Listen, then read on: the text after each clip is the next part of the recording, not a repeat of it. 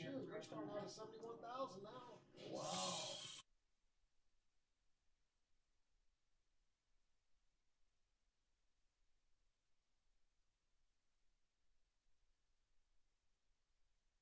Understand why they So were for- paid around so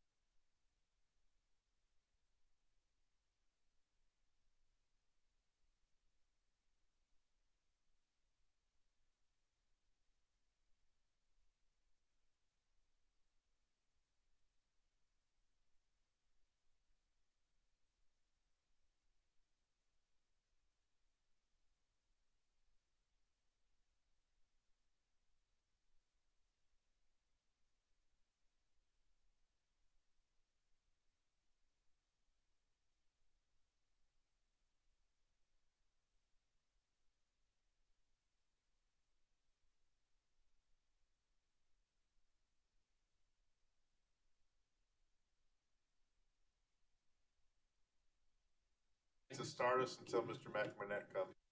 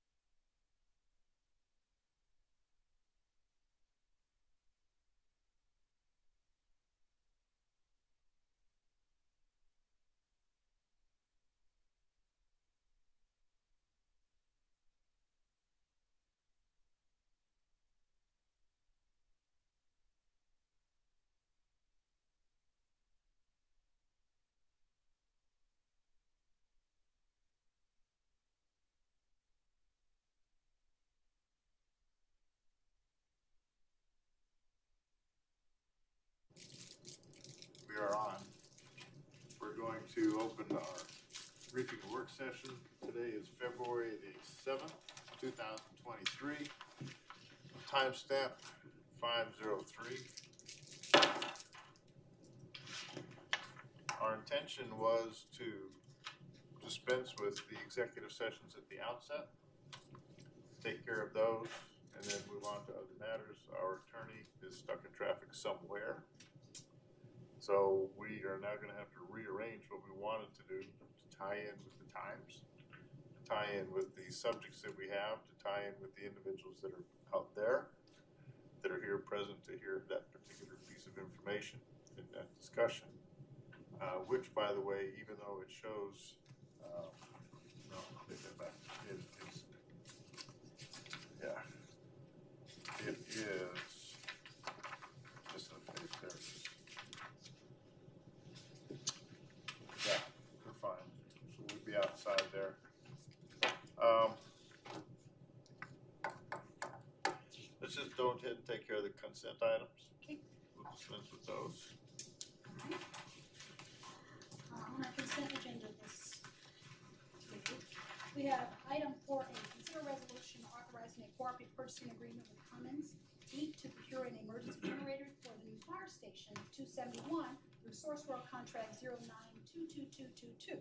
CMM is in the expenditure amount of one hundred twenty-five thousand nine hundred seven dollars. Uh, on January eighteenth, twenty twenty-two, council approved using ARPA funds to procure emergency generators.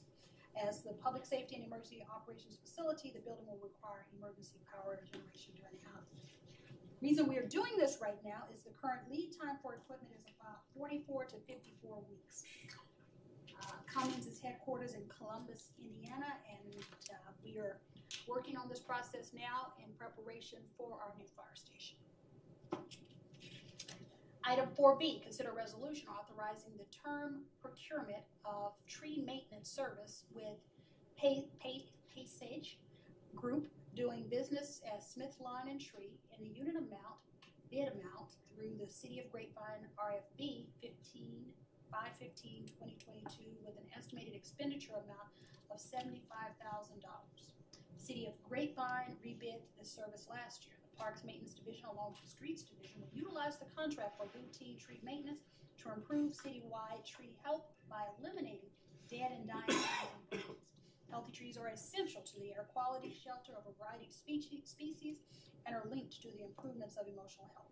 Contract, yes, sir. Oh, when you're done. Oh, contract agreement will be a critical aid in helping stay in compliance with our city ordinance eighteen forty-three, chapter twelve, as well as maintaining our Tree City USA status by spending at least two dollars per capita on urban forestry. Yes, sir. Um, there was a little, I had a little bit of confusion when I read this, uh, because of the, uh, dates, uh, September twenty twenty-two to September twenty twenty-three. Why we're doing this right now, just for the benefit of everyone, could I ask, uh, Mr. Stevenson to explain briefly the way he explained to me what that's all about? Absolutely. Stevenson, yes, sir. Uh, thank you. Um, yes, the city of Grapevine, this is a piggyback contract we do with the city of Grapevine. Um, the previous contract had run out of renewals, so they rebid the project last, end of last year. Um, so that September twenty twenty-two date is the date that they signed an agreement with, uh, this new group. And, uh, now we want to utilize those services as well, so we're entering into a contract with them now, uh, to, uh, get us through this September, through this fiscal year. We have not used any of their services to date. So presumably in September twenty twenty-three, there's a renewal There'll be a renewal, we'll come back to you guys with another renewal. We will get a full year out of that service. For fiscal year twenty-four, that's correct. Thank you. Thank you. Yes, ma'am. Item four C, consider resolution authorizing a purchase agreement with Park Place Motor Arlington to purchase a cargo van in the expenditure amount of not to exceed uh, seventy-nine thousand six hundred and eighty-six dollars.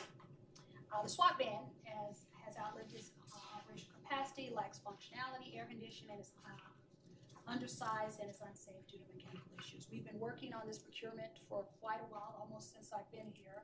And a new SWAT van will, uh, will give us the increased headspace and necessary space that our uh, officers need. Uh, Park Place Motors of Arlington has agreed to provide this van specifications at a selling price of not to exceed, as I mentioned earlier, seventy-nine thousand six hundred and eighty-six dollars. Uh, just to sort of comment here, I know that several of us participated in some, uh, training recently held by our police department. And we were able to actually examine this vehicle that our SWAT team is using, and it is decrepit. It is bad.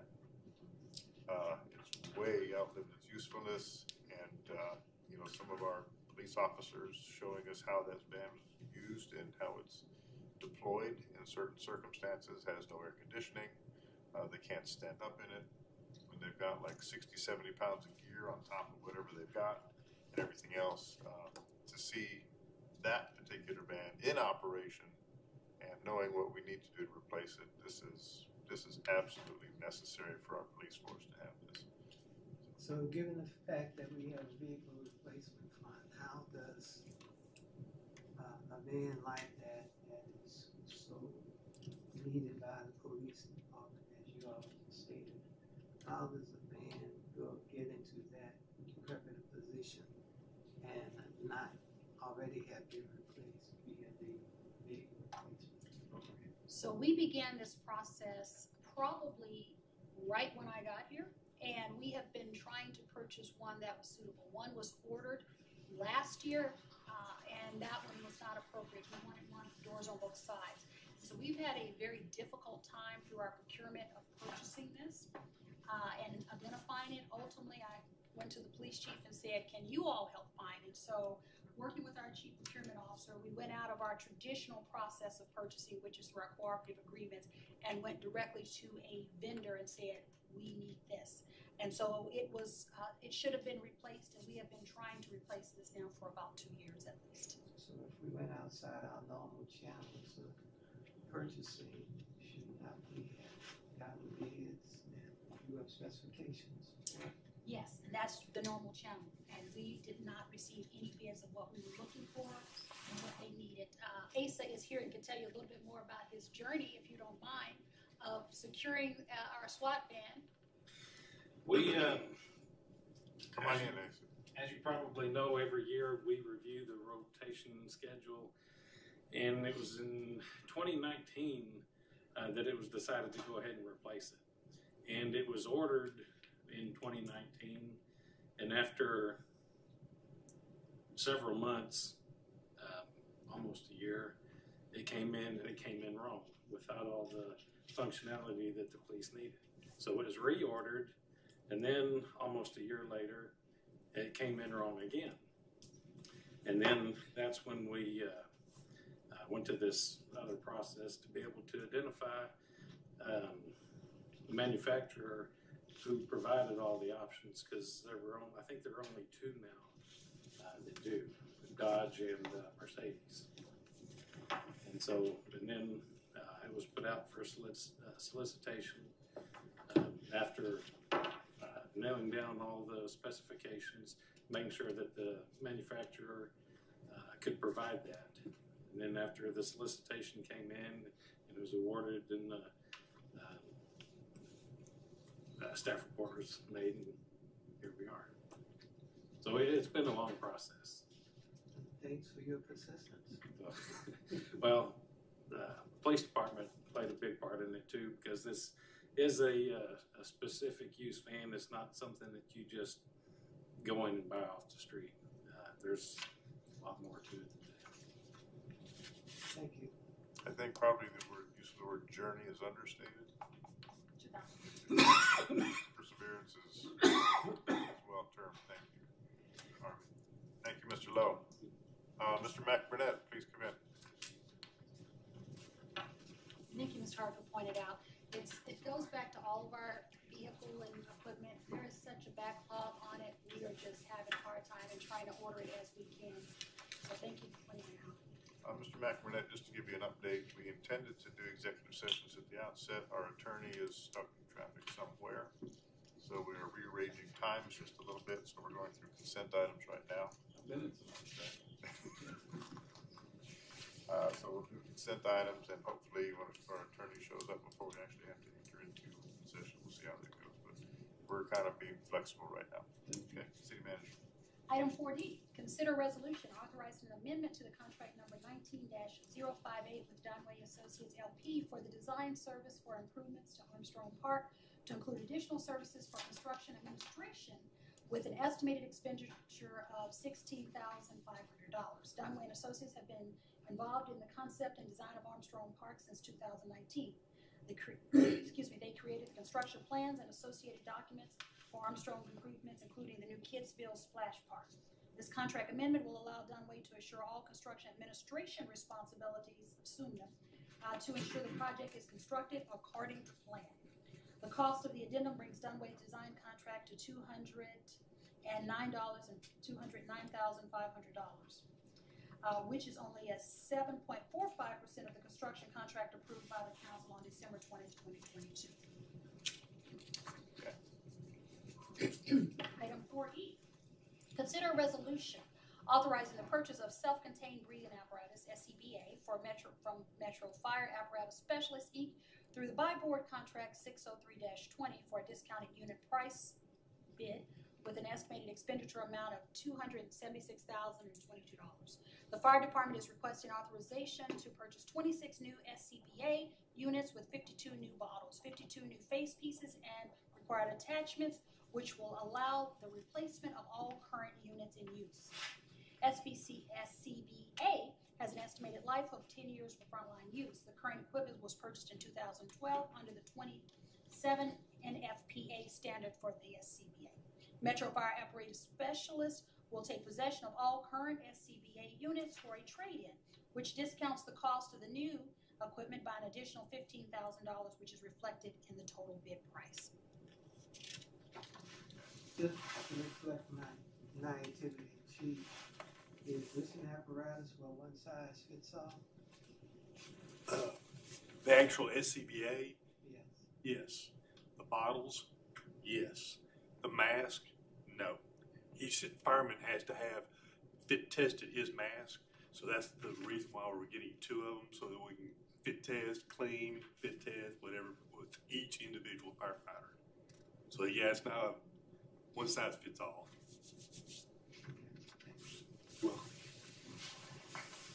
Item four F, consider a resolution authorizing the purchase of a second set of personal protective PPE turnout gear from Casco Industries, Inc. through buy board contract six oh three twenty for a discounted unit bid price with an estimated expenditure amount of one hundred forty-one thousand three hundred sixty-two dollars. Duncanville firefighters are currently issued one set of PPE turnout gear. After returning to the fire station from the scene of a fire or hazmat incident, firefighters are unable to immediately wash contaminated gear as it would leave them without turnout gear. Uh, they receive another, they receive another call. The continuous wearing of unclean gear creates additional exposure for them. Per NFPA 1851 standards, firefighter clothing and equipment should be cleaned whenever it becomes soiled or contaminated. Uh, adding an additional 45 sets of PPE, PPE turnout gear will allow firefighters to be issued a second set of gear, limiting their exposure to the carcinogens and hazardous material. Uh, question, the, the lifetime cycle on these is forever? I mean, there would X number of cleanings before we have to be totally replaced? I know what we're doing here and why. Yeah, this gets very, The very, Existing stuff, is it gonna eventually be obsolete and have to replace that as well? it gets very complicated. Uh, the Texas Commission on Fire Protection requires that we take that gear completely out of service in ten years. Uh, but the problem is, uh, as we use the equipment, wash it, dry it, uh, it can deteriorate even further. So at points, there's time where we may have to replace it in six or seven years. So that's the, another reason for the additional gear. So if a set of gear goes out of service, then they have another set of gear to get in while they're waiting for another set of gear to be ordered. With a remember that each set of this gear is custom fitted to every one of these firefighters. Uh, and that's to give them the ability, you know, to keep skin from being exposed, the ability to get down on the ground and move around, flexibility uh, while they're out uh, working. So each gear is very customized.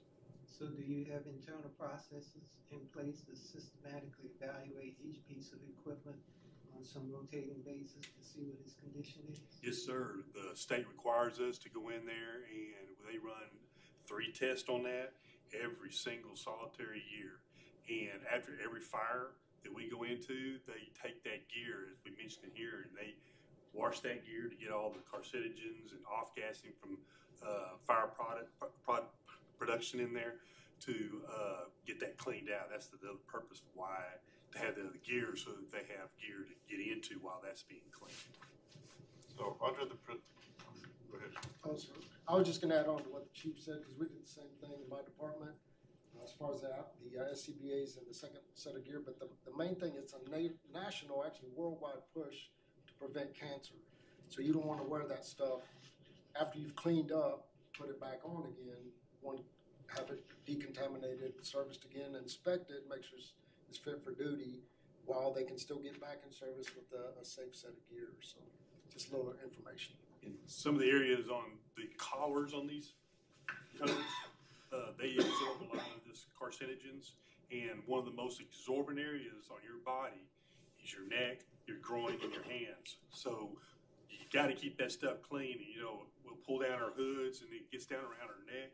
So you don't want all those contaminants around on your neck, especially because that's that most absorbent because that's going to enter your body and and uh, through that area and through your groin and like I say through your hand. That's why we really encourage our guys to when they get back, they have to shower, they have to use uh, uh, towelettes at the fire scene to get cleaned up, try to get all those contaminants off their skin. Okay. Um, change the tax just a little bit in terms of budgeting for this. If, if the required replacement is ten years, but we're looking at, in actuality, it's six to seven, then in your budget process, do you accrue in a sinking fund somewhere or accrue a fund that early procurement of these items so that we're not looking at ten years, so that as, you know, when the expenditure comes up, we've got it because it's already been budgeted for ahead of time in terms of life cycle costing.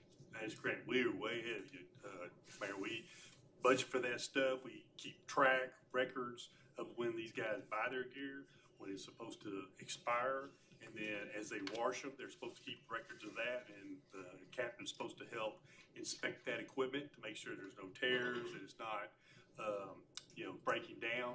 And then every year we send that uh, gear off to be cleaned, and we have it. They do three tests on that gear to make sure it's still functional. So that's all included in our budget to make sure that we keep up with that process. Funding wise, no, no surprises. No, no, We don't have a fire replacement fund, but it's part of when we look at our ordinary operational cost, we Right. anticipate it as, as an That's, expenditure. yeah, that was, comes that was foundation, but somewhere we are considering the early replacement and the, well, the eventual replacement of this equipment as necessary. that's great. And my, So we don't get Danny caught Chief that short. handles that does a very good job of that. Okay, Uh, item four G, consider resolution of the city council of the city of Duncanville, Texas, ordering a joint election to be held in the city of Duncanville on Saturday, May 6, twenty twenty-three, for the purpose of electing council member at large for a two-year term, one council member from District One for a two-year term, one council member for District Three for a two-year term, and one council member from District Five for a two-year term. The resolution is written in English, Spanish, and Vietnamese, is to order a joint election to be held as mentioned on May 6, 2023. The Vietnamese translation was completed this past weekend after the agenda was posted. Resolution provides for runoff elections on Saturday, June 10, 2023, if one is required. The resolution orders the election and provides for all statutory and home rule charter requirements for a joint, uh, for, to conduct of a general election of offices to be held through a contract with Dallas County Elections. Uh, the contract of Dallas County Elections will be posted on the next, uh, regularly scheduled, uh, city council meeting agenda, dependent on the various jurisdictions completing their work for the development of a contract. At such time, the staff will bring the contract to the city council for authorization. have we had, had any success in appealing to the county for the cost? Uh, it's The of our share of it, the number of sites, because it's still way outlandish. Is there anything to report on that? So there actually is a subcommittee, and just as Ms. Kristen Downs was a part of it now, we were supposed to have a, a meeting last Wednesday, and due to the ice storm, they've been ahead and canceled it. So we are still pursuing reducing the number of, of locations in the city. Yes, Okay, Very good. Thank you. And they're, they're, they're listening to us on that issue, so it's not just we're asking for it, but they are listening to the desire of that, based on the numbers. Very good. Yeah, I think the data that was collected in terms of number of people showing up at some of the locations was zero to one at some, some of the locations. Okay. All right, our attorney has appeared. Safely, it might be. Good, glad to see you, Mr. Attorney. Uh, so we have kind of modified our schedule to take care of consent items until you were able to get here. So I think what we will do now, uh, we've gone through the consent items, we've covered any questions with those. I think at this point, we'll go into executive session and to, to cover those items, and that will be able to bring us out hopefully around the six o'clock timeframe. Or no, Five seven minutes. o'clock time, Five minutes. the five-minute timeframe. Yeah, it should be very short. Okay, so just so that we keep everything uh, proper and legal before everybody departs, I need to read these items. Number, item number one, city council shall convene into closed executive session pursuant to section five fifty-one point zero seventy-one of the Texas Government Code. Consultation with attorney to consider a settlement agreement with the city of Duncan versus Texas Ea- Rea- Reality Incorporated, cause number DC two-one dash zero-zero-zero-ninety-five, pending in the one hundred thirty-fourth Judicial District Court, Dallas County, Texas. Item number two, city council should convene into executive session pursuant to section five fifty-one point zero seventy-two of the Texas Government Code. Consultation with attorney to deliberate the sale, exchange, lease, or value of real property owned by the city south of Wheatland, east of Main and west of State Highway sixty-seven. With that reading, uh, everyone please remove, uh, be dismissed from here.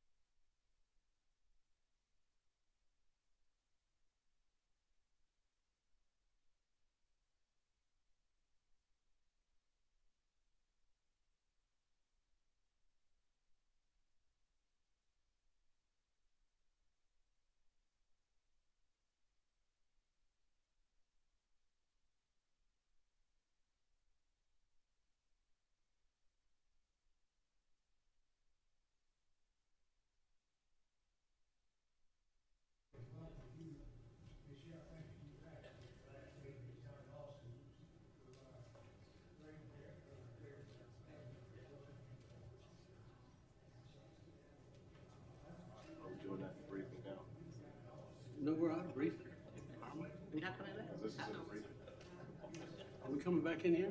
Well, don't make me lie. I thought we were reading back out there. Well, we are going out there. But I, I don't know. Better put mine in. I thought. I got jet lag on this, uh, five o'clock meeting start. We'll need her. Give my letter. I'll leave my. What is this for? I guess that was, they gave us some candy. I don't know if that was to take out to the, uh,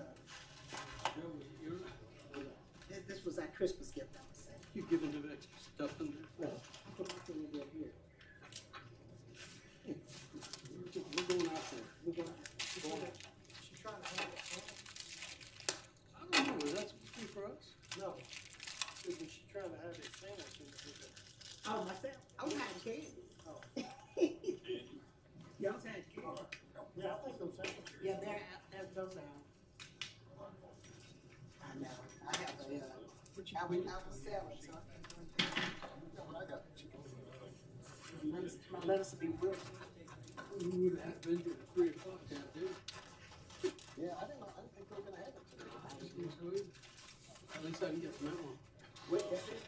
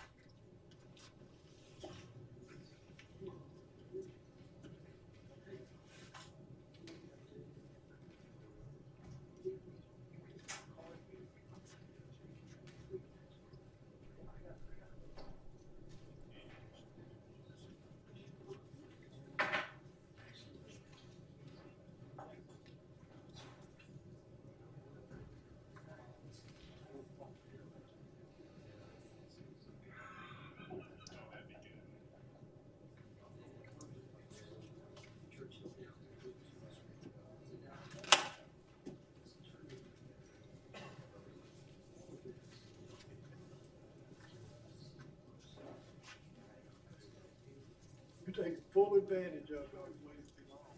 Look at this. Oh, sure, stuff go mouth. Had no lunch. Couldn't get, had to get here, had no dinner. That's why they provided it for you. See there, Mr. Mr. Harvey? Harvey, how are you doing? Pretty good, how you getting along? I'm all right. Good. You doing all right? Heck yeah. All right. Essentially free. Presentation. Just two things, the whole thing's here for. Uh, There's something in there? There's candy in there. I'm not sure what the occasion is. Oh. Yeah. I guess it's for you. Yeah. Five o'clock meeting. Yeah. Yeah. That's lunch or dinner.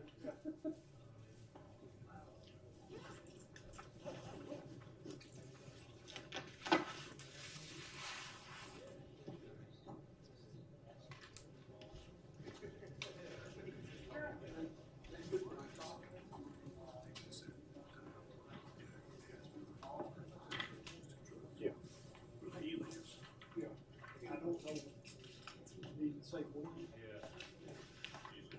Thanks, sir. Yes. Thank you so much. Silk is six. Doesn't matter. That's a good question. Thank you, sir. Appreciate you very much.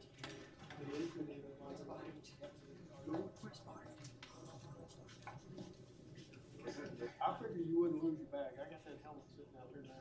Oh, do you? Yeah. You can go. To see all of your, uh, rank and file. You, I told him that the illustrious Bob Hager was gonna be there, that I will come see you. Now you're What you say? You can have mine. No, no. I don't know where it came from. That's a good point. You know, kid told me what was made. I used to go down every Friday and eat Kim and Jenny's down here. Yeah. You know, it's down right. So Tuesday will come in there one day. He said, man, I just went in and inspection down here. Kim and Jenny's, I go, quit? He said, yeah, he tear your face, man. How are you going? He tear. I said, what's that? He said, man, you look up underneath the cabin, so it's come like, he said, there were rivers of right there. Oh, I didn't notice any in my salad. Yeah. That's what a lot of those places are. We have, had, I The mean, greasier the spoon, the I'm worse not the. a barbecue joints, but there's a black tree, barbecue, there were people lined up, they had no smoke scare, but that's where one fire department from Huntsville, I went down there. And I brought bread man, uh, this Baird's guy, delivering the bread, called it, he had a key to the place. Walked in, put bread and all that, we left the brisket in there, so I went in there checking everything out, like, oh, I mean, it was nasty. But it was like that barbecue, and it was like, ah. Probably, They, they have enough heat on that, probably. Yeah, it's, yeah. Let's see what's in here. You know what? Actually, said it's candy. Yeah. Oh, Swedish fish. Their own little. There was, this one's mine. How long You is can- that? I share. What? How long is it last? Longer than Should- any of us would want it to last. That's not. Probably seven o'clock. Goat could be good. You know, that's the only thing that's gonna, it's worthwhile. Yeah, that would be funny. Cause you, what, what's really going on with that? Well, here's what happened. The code says you can have one livestock per five thousand square feet, right? They got four. They only have fifteen thousand square feet back there, right? So they gotta get rid of one of the goats. Well, they don't wanna break the goats. So that's why they're appealing. What are the goats there for? They're pets. They uh, got them in the rescue from their one of their relatives, and they just became fond of them. And you know, they really do have a nice setup. It's just that, would you want goats to you? No, I wouldn't either. but that's what the I don't even like my neighbors living next to me, Yeah, yeah. much less the goat. Yeah, I, I understood they, what? They can hear you. About to go online. Get this going. Kristen sent me a message saying, "Hey, go tell them." I don't want goats. So,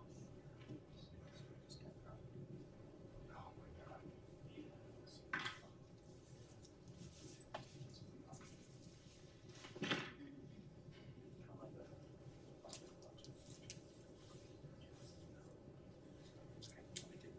all right. I see.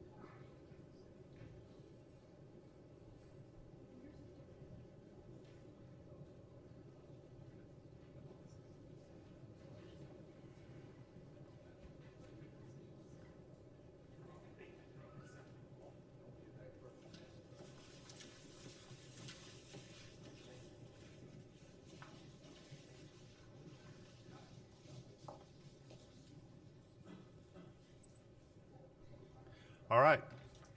Thank you very much for your patience. Uh, We are still in our briefing and work session. And we're reconvening this. The timestamp on that's going to be 6:06. So we are going into item number 2A. This is receive a presentation on the compensation study and turning it over to city manager. Thank you, Mayor Council. Uh, We have, uh, we have before you today, you each have a binder which has a copy of the PowerPoint and some of the uh, data that was provided uh, in front of you.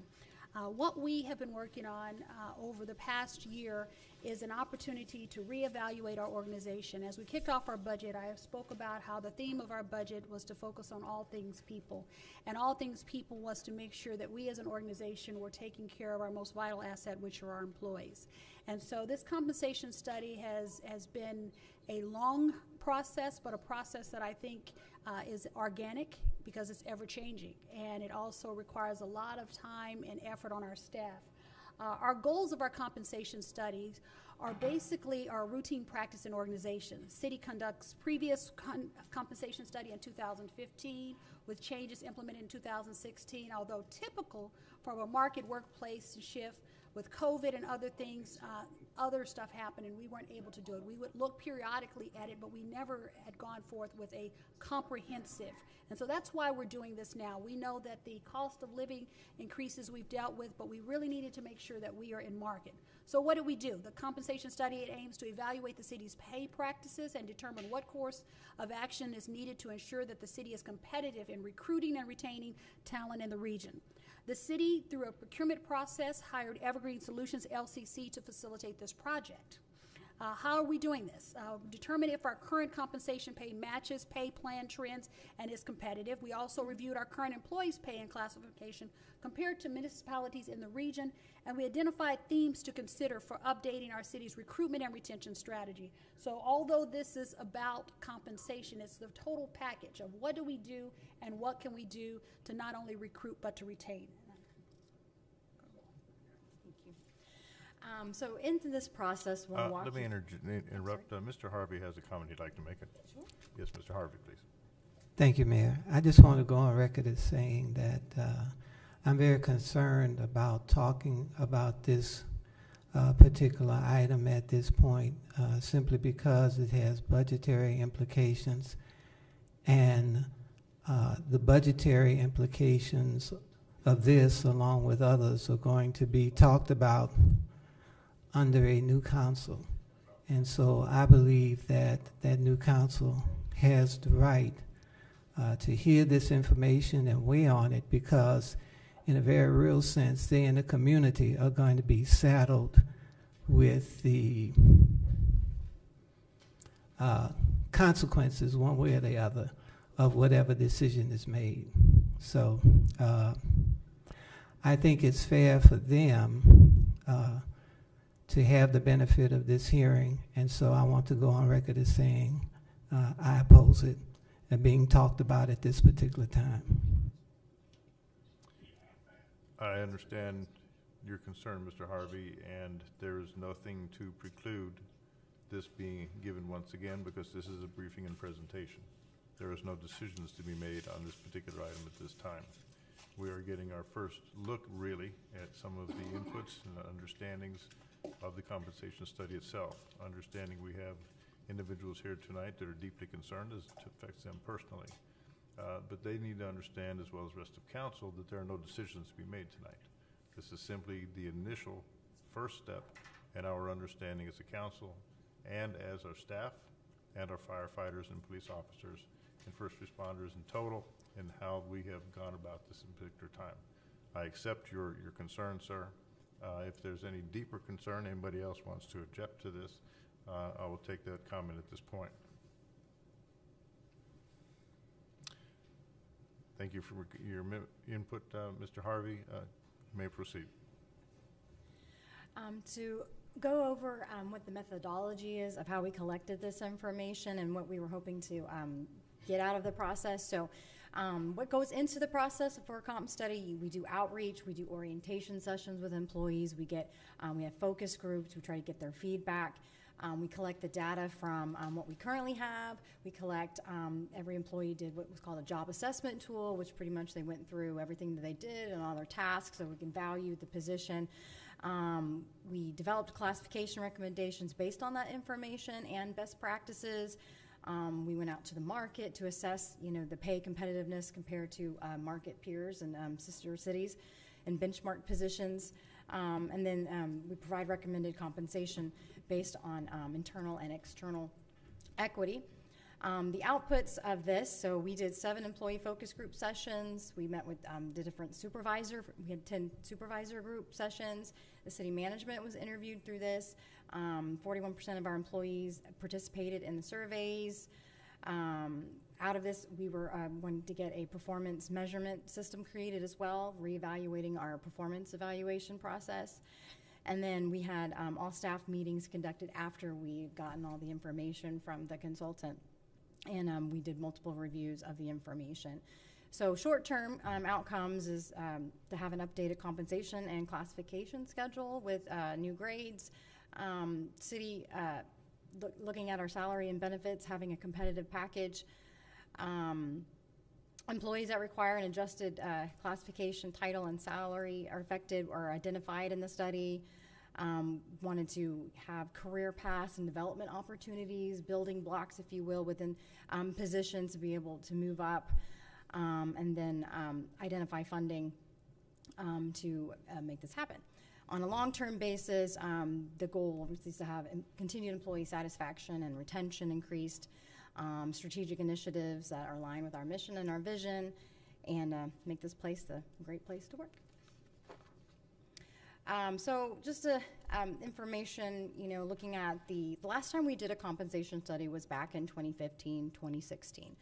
Um, so what we looked at, we wanted to see what has been the inflationary uh, trend since the last time we did this. It's important to keep it in mind, as we all know um, how inflation has um, been going up. So in 2015, last time we did a study, the cost of a dollar now costs you $1.25. Um, as you can see there on the on the, the right hand side, the percentages of inflation, and the reason why that is important is that you know, as everything else, cost of goods, cost of services rise, salaries rise as well to keep in line with um, the market. So, as we mentioned, this has been a long process. We talked about this last January as far as kicking this out and a activity. Uh, annually, we conduct an internal salary survey. And that survey just asked our peers, what are you doing uh, salary-wise? Uh, as I presented to council last year, one of the objectives was to actually do a full compensation study. Uh, we kicked this off in March of 2022 with the RFP being released. Only one proposal. 42 firms viewed it, but only one proposed. Uh, this is something that most cities are trying to do, but it's a very time-consuming activity, and so a lot of vendors are not interested in uh, taking on these tasks. In May 2022, the compensation study was reviewed by the evaluation team, and we awarded the contract RFP 2020-014. In June 22, we actually kicked off this process with all staff meetings with employees defining our process and why we're going to do the internal focus groups were held with employees. There was also a document called a job analysis tool. We had a 41% participation. This was a chance for people to talk about not only what does your job say you do, but what do you do? It was a chance for them to share their experiences with the consultant. In August 22, we received our first response. Now, what I will say to you is as you get into the budget year, one of the challenges you have is that we were doing a compensation study the same time as many of our peers. And so as we look at our data, we found that the data is a constant moving, moving target. Uh, for example, our sister city next door in DeSoto just completed theirs, and they're still in the implementation phase of it. Uh, we began internal review of the results, uh, and some of the data we found was inconsistent uh, data identified. When you take something from that time frame, what you find is it's a point in time. Many individuals were approving their budget, and so they tried to estimate what the numbers would look like. Uh, so what's gone on from that is we've gone back and asked for more data. We've shared that information. Uh, following the meeting with Evergreen, we asked for some more data, specifically with police and fire, because we noticed that the information was not consistent with the information that we had received or had shared. Uh, we then started doing some of the stuff ourselves. We actually looked for, uh, with our sister cities, to get their compensation plans because with the new fiscal year starting on October 1st, many individuals implemented new plans, and so it makes that data irrelevant. And so, like I said, it's an ongoing target. Uh, we sent uh, November 23, we sent three performance measurements as a guide for police, fire, and general government, and the city implemented the plan to determine how this will work in the future as far as merit-based pay. An all-staff meeting was held uh, in November. That meeting was because many people were like, where is this plan? And we're getting a little concerned that they were not going to see any results of it. And so in that all-staff meeting, uh, we shared with them the timeline, what we were doing. Uh, we also shared them some preliminary observations from the data. Uh, from that, in December, uh, a linked copy of the raw data was sent to all staff and an updated file was created. Uh, I will say to that, we also held focus meetings with different groups of individuals to go over the data. And kind of uh, as we started to develop it, I did not want to bring anything to council that we had not run by staff. And so staff had the opportunity uh, at a number of occasions to share their concerns. And so as they saw the data, some would bring us information that may have been different. And so we can honestly say that we have met with uh, every team in our city, uh, all police, fire, public works, parks, rec, every staff had an opportunity to come by, and anyone wanted to follow up on additional information, were able to meet with Jennifer and myself. Uh, As part of this process and as part of the overall communication process, I'm conducting one-on-one meetings with every member of our city staff uh, for 15 minutes. And so we have been doing that uh, on a regular basis for the past few months, and will continue until I've met with every member of the staff.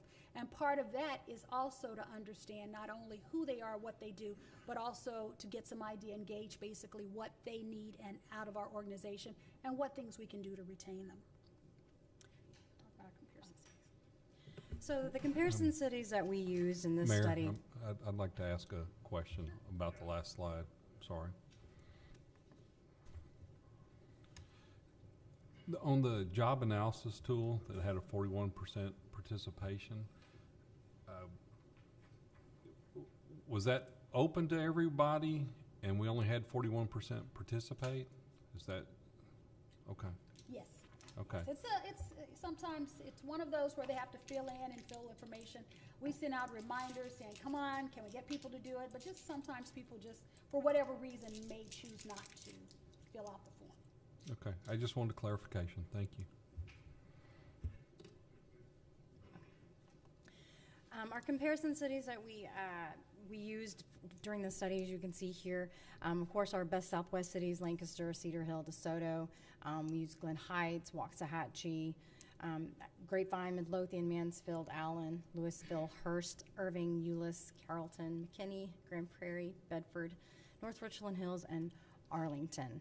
Um, based on some feedback from fire specifically, uh, we looked at, um, we added Hurst, Euless, and Bedford into the equation post um, the study because they are a, um, uh, very similar to us in our best Southwest city arrangement. There are three city that share resources and um, uh, when they when they go out for calls, for example, in dispatch, um, they're very similar to kind of how we're organized. So we wanted to include them in the in the comparison cities.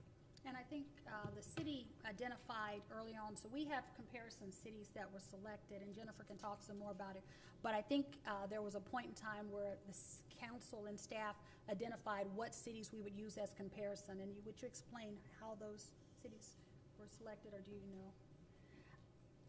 And so, you know, we, we do we do try to get the feedback, you know, of course, what from council, from staff, from um, city management about what cities are best to. I mean, because there's obviously very many cities around the DFW Metroplex, and we can compare it to any one of them. But these were um, chosen for um, their proximity, for um, you know who we you know have retention, losing people to, for example, those that are close by and those that are of similar size.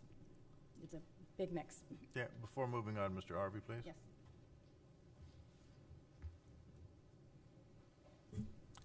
There we go. Okay, so um, these cities that we're we compared ourselves to, you, you mentioned that um, we lose firefighters to them, and so I'm looking at Grand Prairie. I'm looking at Allen. Go back. Just, yeah, it's the same list. um, Grand Prairie and Allen, Carrollton. Um, those are cities that are at least 180,000.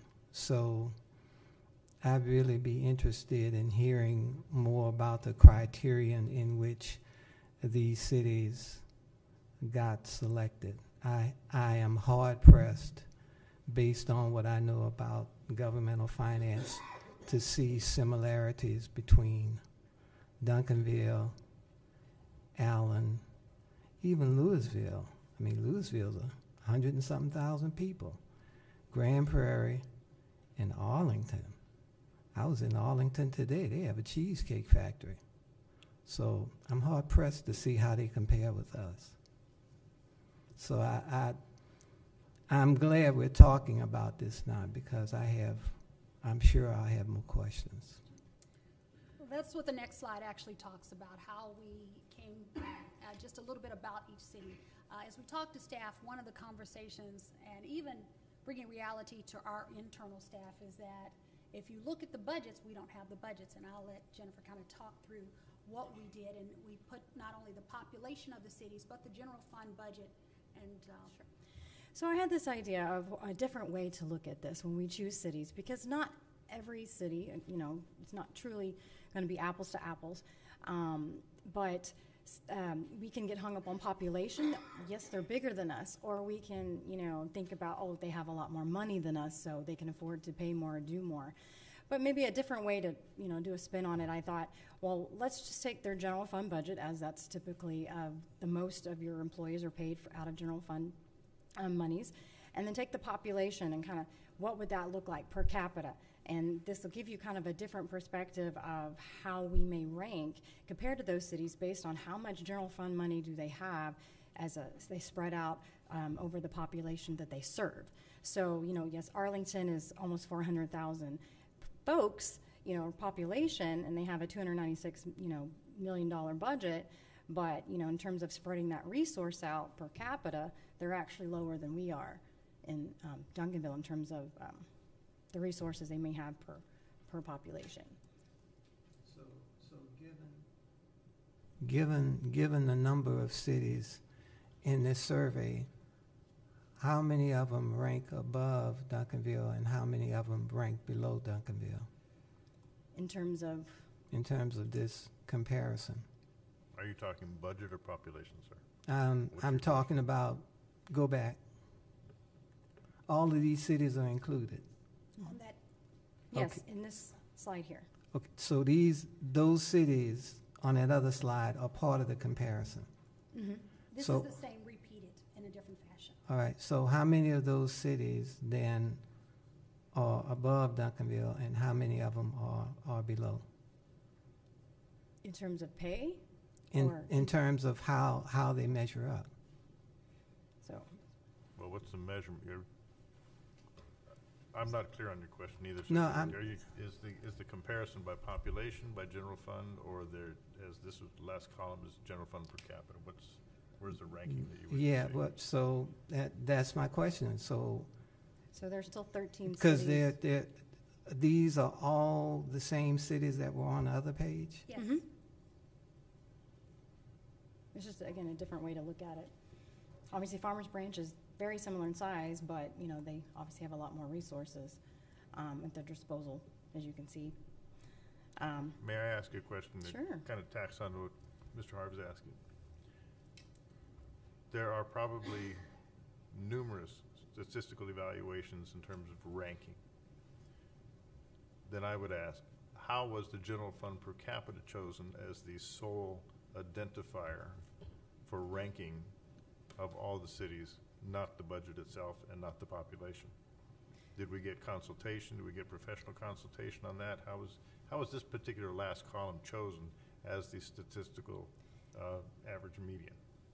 Now, this was not chosen in terms of what cities we chose. This came later, you know, as we had, a- had a list of cities that were part of the study. And to know that this conversation, um, it was my idea to come up with a way, a different way to look at it. So this was not a part of the reasoning when they were initially chosen, I should say. So it was, it was your judgment call to create this particular data in terms of the ranking.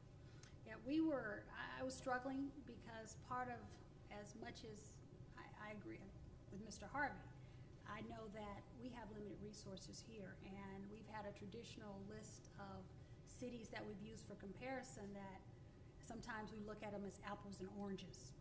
And so, in order to better understand those apples and oranges, we looked and, and Jennifer came up with, and we ran it by a couple of folks, another way of looking at us uh, in a different light. And that is why we did it now.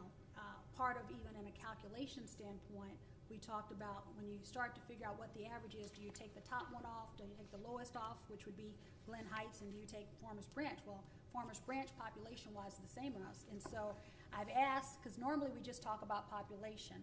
I think that it goes beyond population because if you look at the budgets, the budgets don't necessarily reflect the population. And so as we look at the data, I think it's important that we know that there are some cities. We don't, even if you ranked, if I sorted this today and said, who has the lowest general fund budget, and I've said that to staff, uh, we are the second lowest. And that's something we have to take in consideration. But from a population standpoint, we are not the lowest in population. And so it tells us that we've got our work ahead of us. Uh, But when you looked at the cities, and when it was explained to me why we had uh, the comparative cities, is that there were cities that were asked to be added, like Farmers Branch and some others.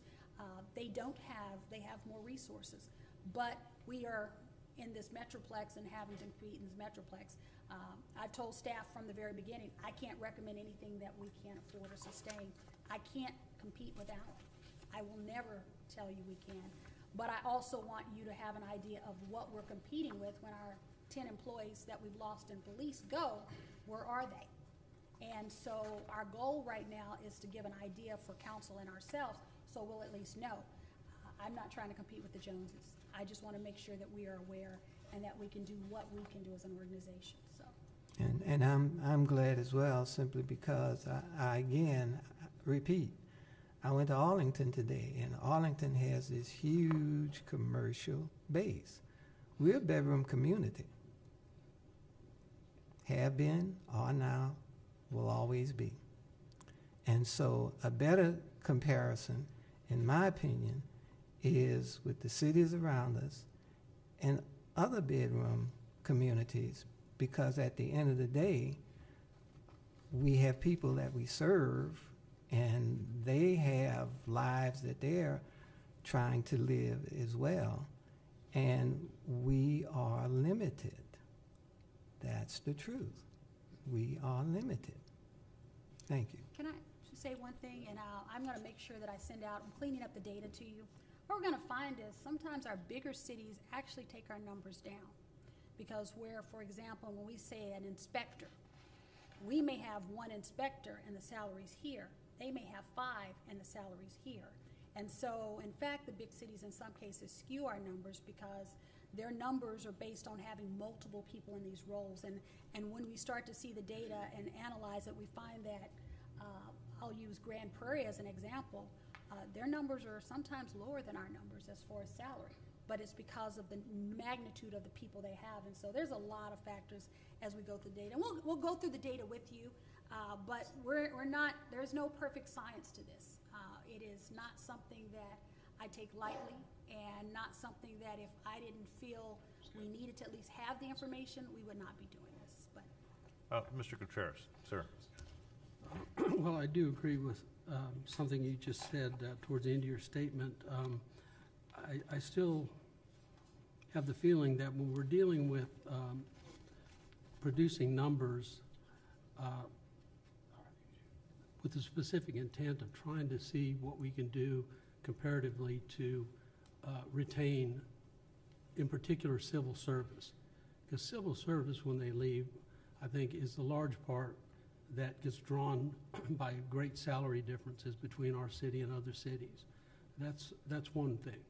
When you look at our, our non-civil service employees, they leave for very different reasons. Some of them do leave for money and opportunities. That's what we all work for.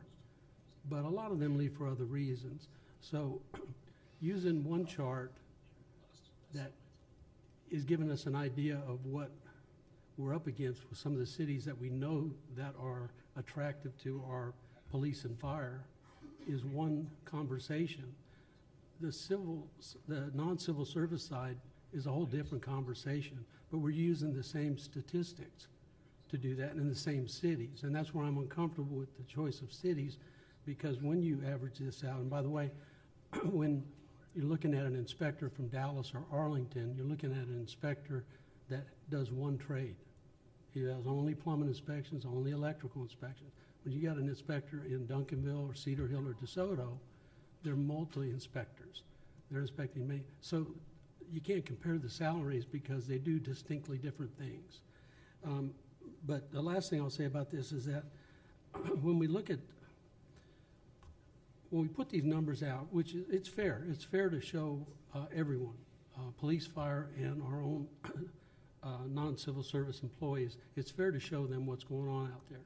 They used to do it 25 years ago when I was an employee. They seem to be regularly, every three or four years, we do a salary survey.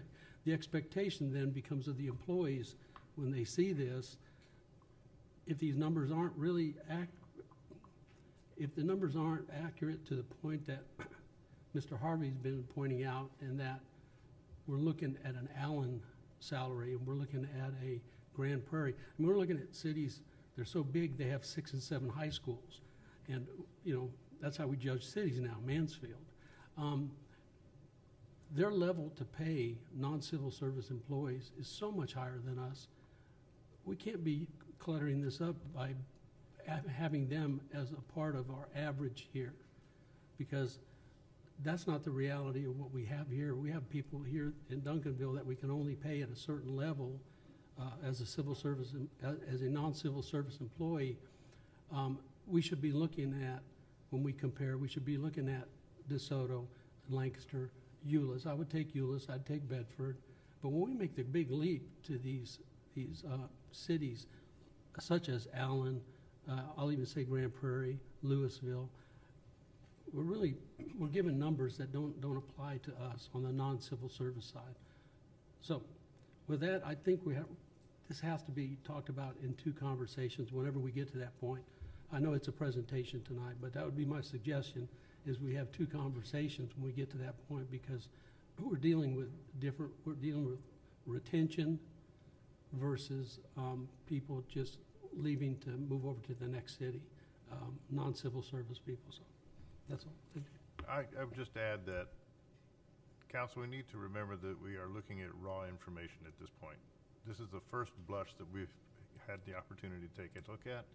And in understanding what uh, Ms. Odie and Ms. Farrell Benavides have done, I don't know how many more, so we are on page nineteen, and we've got up to page forty-seven to go, which means to me that there's a lot more information yet to come that we have not even seen yet, and we're going in, we're diving underground and get- getting a little deep in the weeds at this point. So I'd like to allow them to continue. We can ask questions as we go, but with an understanding that it's a very complex process, and that's why I had concern about where did this last column come from? There are so many different variables that could be assessed to determine what should that comparison be. Maybe between now and page forty-seven, there's another comparison. I don't know. But allow this to go and let's take a look at this, and I think it's gonna be fair to say that by the time we get done with this, with Mr. Harvey's input, Mr. Contreras' input, and probably with all council's input, sending some emails to the city manager and Ms. That there could be some other variables that could be included as well, the next time we look at this. And going back to Mr. Harvey's comment, the next time we look at this, may likely be a whole different council that is here. Have to give that, give that consideration. So let's go ahead and just, Okay. with that understanding, and I do agree, you know, let's put it this way. We do know that the city of DeSoto based their salaries on the city of Allen. And it was so far outside the ability of us to meet, it is so far out the ability of any best Southwest city to meet, but that's what they did. Are we going to then say that because DeSoto did what they did, are we going to do the same? And the answer is we can't possibly do that to be judicious in the use of the funds that we have in our city. We're gonna do the very best we possibly can. And at some point, that's gonna be coming to us as a council to make that decision to the very best use of every single dollar we can for our first responders. And we will be very cognizant of that fact and do our best to be very, very diligent about that as well. I would be negligent as a city manager to say it's not all about police and fire. I Love police and fire, but I got people who turn the water on for everybody. I got people who answer the phone. I got people who go and do inspections. And, and, and this is not, as much as I, I want to make sure that we're dealing with my civil service folks, uh, this is to give you an update of what's happening in our city. And we are losing people, and yes, it may not all be about money. But it is something that in this society, in the Great Recession, that we're having a hard time not only recruiting and retaining people, but we're also having to focus on it. And so what I will say to you and putting, I should have started with this in mind, is what we have come up with is a compensation classification schedule for both the city staff and police and fire in two parts. Uh, The numbers that we talk about, many of those cities' numbers aren't even included. Yes, we see the high numbers, but I'm not trying to meet the averages in some cases. I'm trying to meet what makes sense. I will say to you, there are cities that aren't included in here. Midlothian, Mansfield, Red Oak. Their numbers are up there. And there is no way that we're going to get around, no matter what city I put up here, that our salary numbers are going to be difficult for us. And so there are some tough decisions that we have to make, but we're not going to try to recommend anything this city is not financially able to sustain. And so what we're looking at is making sure that presenting this information is education. The next step in this process is we've put together a compensation plan which each of you've received. Uh, it's not trying to meet the average. It's not trying to meet the others. It's trying to meet what we can do. And so I'll go through this and kind of speed through it because I do know we have other parts. Uh, as we said, as our best Southwest cities, if we look at the number of employees we have, uh, we're at 290, 317, 320, 372. I will tell you, and I know that there are some people here who are hearing you and understand what you're saying. But what I've been told in my one-on-ones and my meeting with the staff is that, yes, we're not Grand Prairie. We're two stations. But if you look at our call volume, you're going to find that we function at a higher level, just like we talked about when he said our inspectors. We have an inspector. They don't just inspect plumbing. They're doing plumbing, electrical, and all of that. And so part of that is understanding, and we look at each person, and we have looked at each person individually because there are not necessarily complete apples and apples to compare our staff to. There are some anomalies that we have that other cities will not have, where people are, as we've always said, lean and mean. Uh, it's mean because some of our people are doing double and triple duty in some of their roles. Moving on, uh, one of the things that I focused on when I talked to you last year was looking at titles and salaries. That was something I was very concerned about because we would name people and the naming conventions didn't make sense. And someone talks about the hierarchy of leadership. Uh, at the top, you've got a city manager, assistant city manager. We use the term managing directors. Those are folks who are overseeing functions and other departments and executive directors. Then we have our directors, our chief. Uh, an administrator is someone, uh, we were using the word director and it's not really a department if it's only one person. And so we've looked at how do we adjust and make sure our titles are consistent with what they do. And so if you are over a, a department of one, you're an administrator. If you are a director, you're over actually what is defined as a department, and an administrator would be an office. Uh, chiefs, which are our police chiefs, we've also used other words like officers and, and as we've used administrators, like you see now that we have a chief procurement officer, a chief information officer. Uh, if you look at our, our finance or our HR department, our HR department consists of three people. Uh, three people, our IT department consists of four people. And so we're starting to figure out what we need to do and looking at how do we right size our city for what we need. Then we have superintendents and managers. Uh, feedback uh, that we receive from staff of what are they looking at. They're looking at things, and, and this came from all of the surveys. Some talked about take-home vehicles. Uh, monthly allowance should increase for the phone to 100. These are just examples. Now, none of these things are, are currently being, but these are the things as we develop our budget cycle this year that we'll take into consideration. Child care, partnering with organizations. As we've heard the word updated service credit, accrued, accrued sick leave payout to all employees who retire from the city. Uh, right now, police and fire get sick leave paid out up to a certain amount, but other staff are not. Uh, looking at our certification pay, are we up to speed and in line with other cities for certification uh, and reevaluating those rates? Compensation time in lieu of overtime, what other things we can do there? Hazard pay for when we're called in on ice storms and things like that. Mileage reimbursement available to all employees. There are employees who are coming in and they're driving around the city, and, and we have a policy currently in the city, we reimburse for mileage. Well, most people are driving around their cars and don't have the energy or don't actually submit them. And so they're looking at how do we handle those performance stipends, sign on referral bonuses for hard to fill positions. Uh, another benefit is spousal insurance availability regardless of status. We stopped allowing employees whose spouses had insurance to be on our insurance policy. It's a simple thing. They pay for the insurance, but we stopped that. And so these are some of the things that people are struggling with. Additional holiday, they said, tuition assisted, flexible alternative schedules, and work from home eligibility for positions. All of these are things that you see in other organizations that they've brought out. Other things is talking about our facilities. We all know we need to do some upgrades. Additional space for exi- existing facilities to store item. Uh, access to city-owned facilities. Someone talked about can staff go work out after hours. Then they talked about assignment pay, revisit, and this is public safety, revisit field training officer pay, on-call pay, revisit certification, shift differential, background and recruitment help, potentially additional filling, uh, and then back to hazard pay. And so this was some of the stuff that was public safety specific. Executive team still talked about it, you know, when it's take-home vehicles, maybe monthly allowances, structured monthly vehicle allowance to some extent based on the roles. Those folks are having to drive in. Uh, executive employee leave, and then same thing with the tuition reimbursement. So who are we as an organization? So this is our current employment statistics currently. So um, currently the head count, that includes full-time and part-time people, um, is 324. Our ratio is about 30% female, 70% male. Um, our average tenure for the full-time only um, is about eight years, and the average age is 42. Um, so you can see there in the pie chart kind of how we break down. So 44% of our employee population fall in the general employee category. Um, about uh, a quarter of that is part-time, and then the rest, of course, is police and fire. Just some statistics on our vacancies and um, filled uh, positions right now. So our full-time equivalent, that is taking into consideration full-time employees as well as part-time um, employees.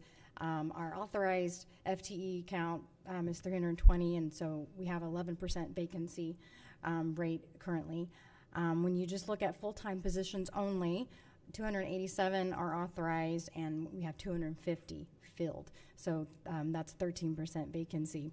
Um, out of those vacancies, currently nine police officers, um, three firefighters, and 25 general employees. And out of the 25, 14 are maintenance related.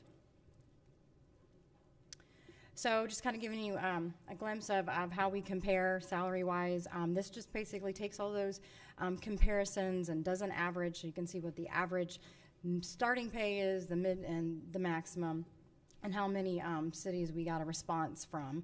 Um, of course, this is not every single uh, position that we have in the city, but gives you a good overview of about how we compare overall. So overall, about five percent um, starting, we are um, below that um, average um, in the market. So, so um, we came up with um, a, a two-part approach to what we would um, ideally like to um, see out of this compensation study. Um, so, for the first phase that we uh, propose, so we have all full-time employees. We in the study they gave a variety of options of what. Uh, what adjustments you know they recommend. Um, we chose what's called a class parity adjustment, and so what that means it's you know they're in a in a certain range, and the range is upgraded. Um, that they are placed within that range based on how long they've served in that position. So if they've served for one year in that position, they'd be placed, you know, one year in that new range. They've served 15 years, you know, it would calculate um, 15 years worth. So um, this this uh, class parity adjustment would affect 75 out of 141 um, uh, general employees filled positions. Um, that average adjustment comes to about 4,000. Non-public uh, safety. Yeah, this is not public safety. This is just general, um, which is about a 7.9% increase again overall average. And then the, the average pay plan range adjustment, moving the pay the pay ranges, is about 15.3% overall. Not every single range will see a dramatic adjustment for sure, um, but that's about what the average is. So when it says 75 out of 141, that basically means that uh, many of our positions are where they should be, and that's what the study resulted in. And the class parity actually takes it up higher because we do have long tenures, so it moves them up. And so our initial analysis of it was looking at it just to get them in grade, and that cut it to just about half. And so it was only about 40 people who were completely not in that line. And I will say that many of those who were there are many of our lower level skilled worker individuals who just haven't caught up with where we should be market wise. And then um, a phase two approach would be um, give a 2% COLA um, on top of that, and then also bring part time employees that are not at $15 minimum to bring them to a $15 minimum. And this just gives you an example, but you do have the, the pay plans um, already, but just um, how some of the positions will would be moved if the uh, pay plan were to be approved. So, so currently, a librarian, for example, starts in at 50. thousand. Um, the recommended new range would start them at fifty-three. For a water wastewater maintenance position, currently our pay plan starts them at thirty-two. The recommended would put them at thirty-seven as a starting pay. And that's a position specifically that's been hard to fill.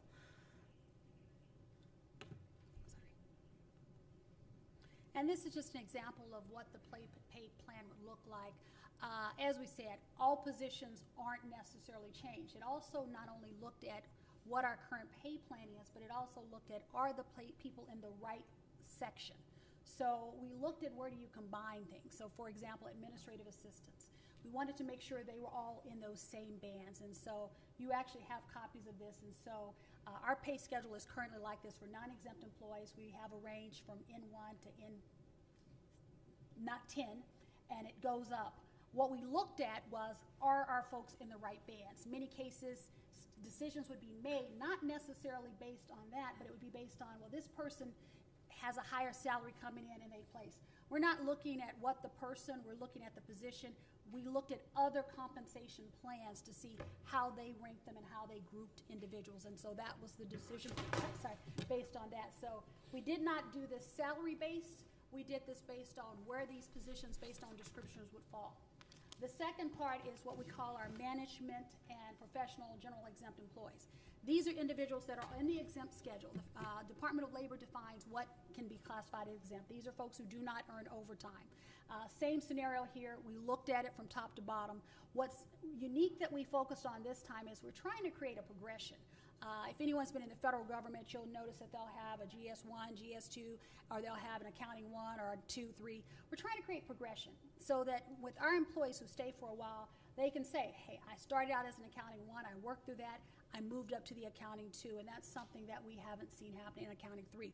Now, these aren't necessarily filled positions, but it gives us a, a level of it and a definition of it and, and looking at it along that. And so that was one of our goals of this. Uh, and as you can look, uh, it goes through each of the positions that currently exist and looking at it. Same thing scenario there. The word, as we talked about wording, uh, making sure there were consistent wording that's being used. And last but not least is our executive. Now, this one's a little more complicated because as we looked at cities, uh, one of the trends that cities have moved to is they don't grade their executive staff. I'm not a fan of that because I like to have some barriers. And so when we started talking, uh, Lancaster, our neighboring city, uh, if you're at this level in Lancaster, you're not graded. It's based on market. So what it means is everyone's hired based on the market rate. And that can get a little bit complicated, and I personally, and in fact, I think they rep- recommended not grading it. I'm just not at a point where I'm comfortable with not having bands. Uh, I did recommend, I'm not graded, and also adding the assistant city manager to that list. Uh, but as you can see, it still falls in the same order of what are the positions we have in that executive plan. And it's something for council to think about. And I'm also willing to find out, and I think we may have the information. And so, what would happen when we were doing salary surveys, we weren't getting bands for folks. Basically, what we would get is their actuals. Uh, and the actuals, and I think DeSoto and Cedar Hill, uh, actually, guess we're the only one in the best Southwest that grades. Um, and so, it's just to me a little bit complicated, but we wanted to give you that data. Uh, so, how did we compare on a, I think, is Chief going to talk about this? Chief Brown? Sorry.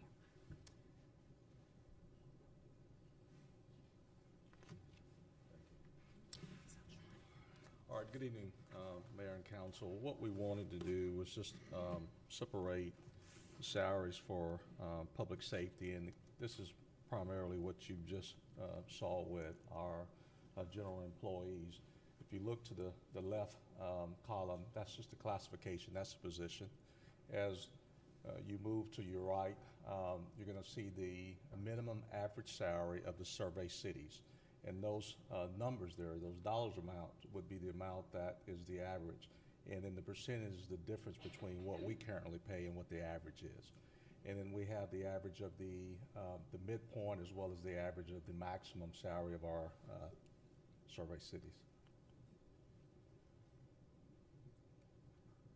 The, if you look at the bottom of this um, particular slide where it says firefighter, the 25% percentile is simply saying that Uh, Twenty-five percent is the eighty-one thousand six hundred and thirty-five. So twenty-five percent of the salaries that are listed are below that particular amount. Fifty percent of the salaries that are listed in this survey are below the fifty percent percentile, and seventy-five percent are below the eighty-nine thousand mark there, and that's the same for police. And then this is basically the same as you've just heard from our city manager. There's a two-phase implementation plan. What we would like to do is adjust the salaries to three, um, I'm sorry, just uh, steps to three to five percent, effective March first, twenty twenty-three. And then the second phase is adjust the steps to the average of what you just saw in our survey. Something I wanted to point out when it comes to the public safety, um, when we had conversations with police and fire, is that we wanted to focus on the ending pay. We tend to get focused on the starting pay um, for recruitment, but you know, the reality is, you know, when they're looking for a job, um, starting pay is important, but you know, they're just trying to get in. Um, so the retention piece of it is what um, really important to focus on the ending pay. So our strategy was to um, no, sorry, our strategy was to uh, focus on um, moving up that ending pay. I'm gonna step back to the uh, sheet just so you'll see. We did, at the bottom, you can see our best southwest cities. Uh, As you can see with Duncanville, uh, we are uh, in fire, from a starting pay for firefighters at our current salary, we're right even with Lancaster, a little bit below Cedar Hill, uh, above Glen Heights. One of the activities we did, which I think Mr. Harvey probably would agree with too, is we did a couple of them. We took off the highest and we took off the lowest, and it didn't really impact it. Uh, but you'll notice in some of the data, and I, I think it's important to highlight where at 63, you'll see there's it's all over the gamut. I mean, it's not necessarily there's not a consistent answer to it. And I say that to say if you look at the starting pay for an Arlington firefighter, it's at 66. And so that's why I said some of the uh, smaller cities, for example, a, a peer-to-peer uh, look, you'll be amazed at what they're doing. Irving, 64. And then you get up to some of the other places like Hurst, who is a population peer-to-peer. Uh, if you look at theirs, their starting is at 73. And so uh, cities do different things. Uh, there are some other cities that I could have added in here. Uh, Red Oak is one example of a city that has actually made huge strides in upgrading and updating their salary structure. Uh, the same could be said for the police officers. And as someone mentioned and asked earlier, and we talked about DeSoto, they moved to 73. That was a, a decision uh, that they made. It's not quite uh, at the Allen level of 83, but it's uh, much, much higher and very difficult for us. But if you look uh, at where we are at 63, uh, we are above Lancaster, above Glen Heights, but uh, we are just a couple of thousand below Cedar Hill, Bedford, and I think uh, if you look at it once again at North Richland Hills, which is a comparative city, they're at about 65. And so, what you're going to see at what we're recommending to you is yes, we recognize we want you to see the numbers. We know what the numbers are, but they do not have an impact on the recommendations we're making. They help to inform us, but our recommendations are based on looking at not only the best Southwest, but really understanding what the apples and apples are for the city. So moving to where we are with the uh, range, uh, when we talked to staff, we talked about a couple of things. One is numbering the steps. We know that public safety is a civil service group. And so within that uh, public safety standpoint, what we looked at is initially is a recruitment. We needed recruitment. As we talked to staff, we found out that if we could retain our folks, we wouldn't be so concerned. And so we started to look at how we could adjust and move toward the back end to ensure because what we have is people as a police officer, if you stay an officer, you max out and you get to that seventh step. And same thing with fire, you're there. And if you know we have stability, unlike most cities, then there's the only increases these individuals receive are our annual cost of living, and that's why council has to readapt the civil service role. So we focused very heavily on that. Uh, looking at the others, uh, our play plan was to get us even with our local folks in Cedar Hill and staying just even. Uh, we are not proposing anything drastic uh, for the civil service plan. As we move over to the uh, police, it's very much the same scenario there. Um, same thing. Now, what we also were looking at is because we know in October 1st, we are going to be looking at what else can we do. And so the recommendation that I was comfortable with, we were comfortable with, is getting us to the 67. Now, what does that really mean to most of us? That means that the moment if we approve this, my neighboring cities are going to go back and they're going to all adjust their play, pay plan to 68 starting. That's just where we are as an organization and a community right now. Uh, but it still is far below, as you'll see as a starting, if you go back to this page, uh, at, as a next year getting to 67, all of these individuals are in different categories. It's still not to the point where the other folks are, and so we're not recommending that uh, drastic a change. Um, so what does this look like from a cost impact? Uh, for the general employees, uh, it looks like it's about $231,626. Uh, for my civil service employees, it's about 233,064, and retirement and taxes gets you an additional 64,313, which gets you a total of 529,000. So I, I don't know if anyone remembers, but one of the things that I mentioned in the budget process is that we were planning on this in January. And so part of it is that we had money in the budget for increases, and we were looking at merit, but merits are limited on how we can do it. And so the way we're looking at funding it from the general fund is we have $300,000 already allocated uh, available to fund portions of it. Uh, the other funds in which it would come from, general fund represents 480, 448,000 of it. Utilities is 54,000, economic development is 11,000, sanitation is 13, and field house is 1,700. Uh, how we recommend and look at covering this, as I mentioned, is uh, with the money that is already in the budget. We also had some contingency funding and savings funding for this for this year that would cover the total cost of this. But it's not just a one-time decision. We recognize when you make decisions like this, this has a next fiscal year impact. What does that impact look like? Jennifer. So, um, as of October 1, assuming that um, the first phase was to be implemented in this current fiscal year, what that 24 budget impact would be as we realize the full cost. Um, so, having uh, the adjustments on the general employee side, um, the 2% COLA, bringing uh, part time to $15 minimum, the adjustment to civil service, uh, bringing them up to that.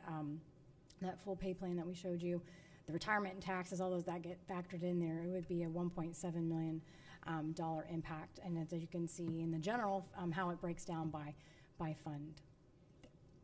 Say it out loud. So 1.5 million. Um, this would be the total impact to the 24 budget. Um, utilities 121, economic development 25,000, sanitation and field house, as you can see there. So uh, to give an example, as I said to staff, is we generally, I think last year budgeted about 800,000 Mm-hmm. for our cost of living increase. And so you still have a, a pretty big difference to make up, which means that as we went into budget preparation, this would be a very lean budget for us this year. This would mean there would be no, and I've talked to staff about it, uh, all things people would have to continue on. And so this would encompass all. Uh, can we afford it? Yes. Is it going to mean that when we go into this budget process that we will definitely have to be very um, methodical and, and know that uh, their surplus will not be there? Uh, generally, uh, we have about a million plus to play with and to do other things in an enhancement standpoint. Uh, we've been budgeting, as I said, about 800,000. This would be in lieu of, this would include where we've normally estimated for a cost of living increase, where this would come from. This is the TMRS.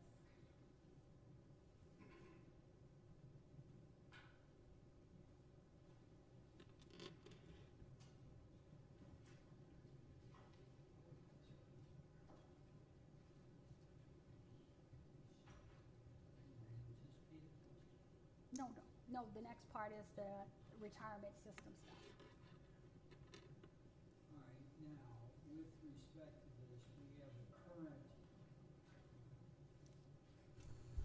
Th- This is, uh, creates problem for Councilmember Contreras since he is a recipient of those, uh, as a retiree for this. So we would ask him that he would have to leave the room in this discussion. Because he would directly benefit from this. And that's been our tradition. I think Mr. Schwartz did the same when uh, he was on council. Thank you. Well, Mr. Attorney, since this is strictly informational and no decisions are being made, is this information still necessary for Mr. Contreras to be recused from this information? Uh, He's entitled to the information, but he can't deliberate. And you're asking questions, and that's deliberation under the Open Meetings Act. We'll see that he has the information available, but it's not appropriate for him to deliberate with y'all. Is it possible then for him to remain in the room, but just be given the guidance that he is not permitted to? He can watch, and the, uh, can we make sure that this is being broadcast? And, and the reason is so that he doesn't influence the rest of you Correct. And put himself in that position. But he can watch on the screen in the other room, that's fine. And everybody has a copy of the binder and the information. Right. We're just gonna make sure.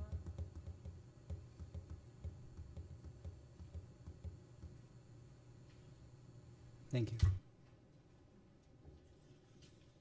Uh, Mr. Hager says you can watch on a screen, so, uh, I don't know how to make this go to that, but I can pull it up on my computer.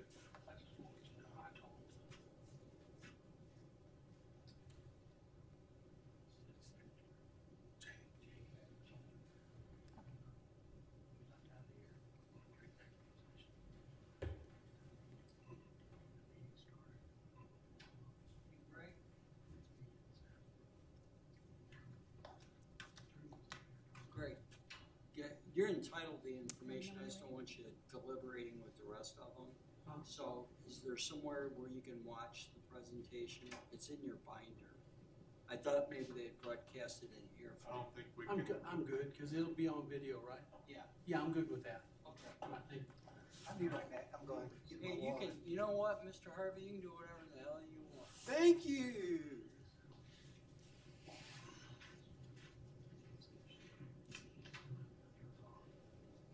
On the feed.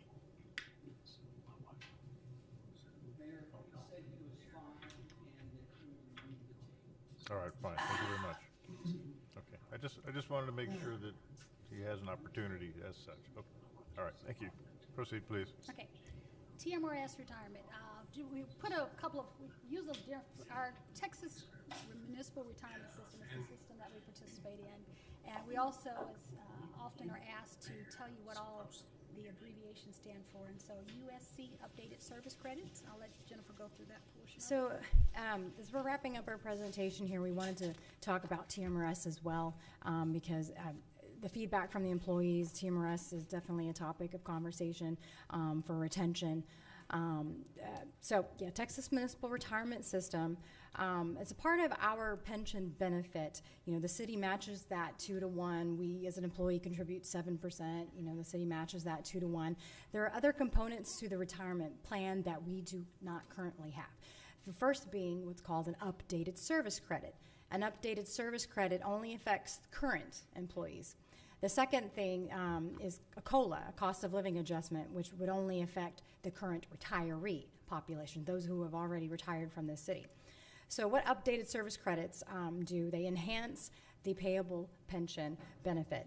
So, um, so what TMRS does, just uh, give you an idea of what, the, what it means. Um, so they take the last three most recent years, they do a look back, and um, they average that together to determine kind of what your actual cash balance is in your pension uh, plan. And then they assume that, so if you, if you started as a, as a maintenance worker now, you're the director of public works, for example, you have obviously um, your earning um, is much higher you know now than it was when you first started. So the idea is that you know they make an assumption. They do a look back. They make an assumption that you've been making that earning basically for you know the your duration um, in the plan and so that's what an updated service credit does and it comes in different uh, quantities so you can adopt like a 50% um, or a 70% or 75% or a 100% updated service credit um, just to show, show you kind of what that, that cost would be. So TMRS allows the city to adopt um, updated service credits only. You can do it on a repeating basis, meaning where it's go, it's um, ongoing every year automatically, or you could do it at an ad hoc basis, meaning one time. Um, so just to give you an idea of what that cost would be to do an updated service credit only, um, doing um, 100% one-time updated service credit would be about $282,000 impact. When you add COLAs into the mix, um, is really what drive the cost of um, the added benefit. Um, the last time we had um, an ad hoc updated service credit and COLA was in 2017, 2016, around that time frame.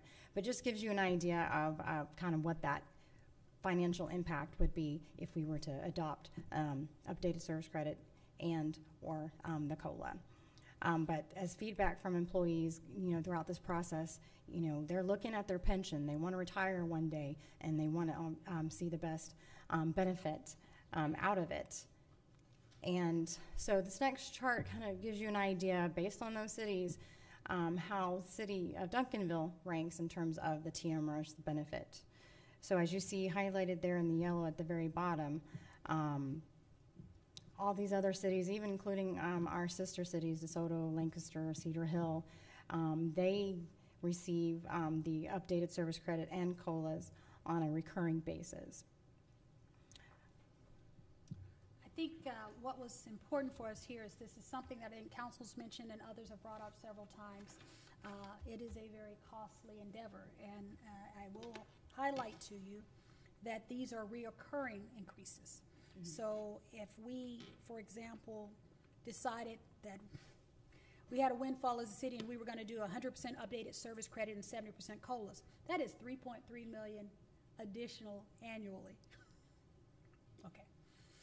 Um, so I want to make it clear when people hear and, and staff and everybody will talk about it, uh, there's a cost. Part of the cost issue is because we aren't in the reoccurring program.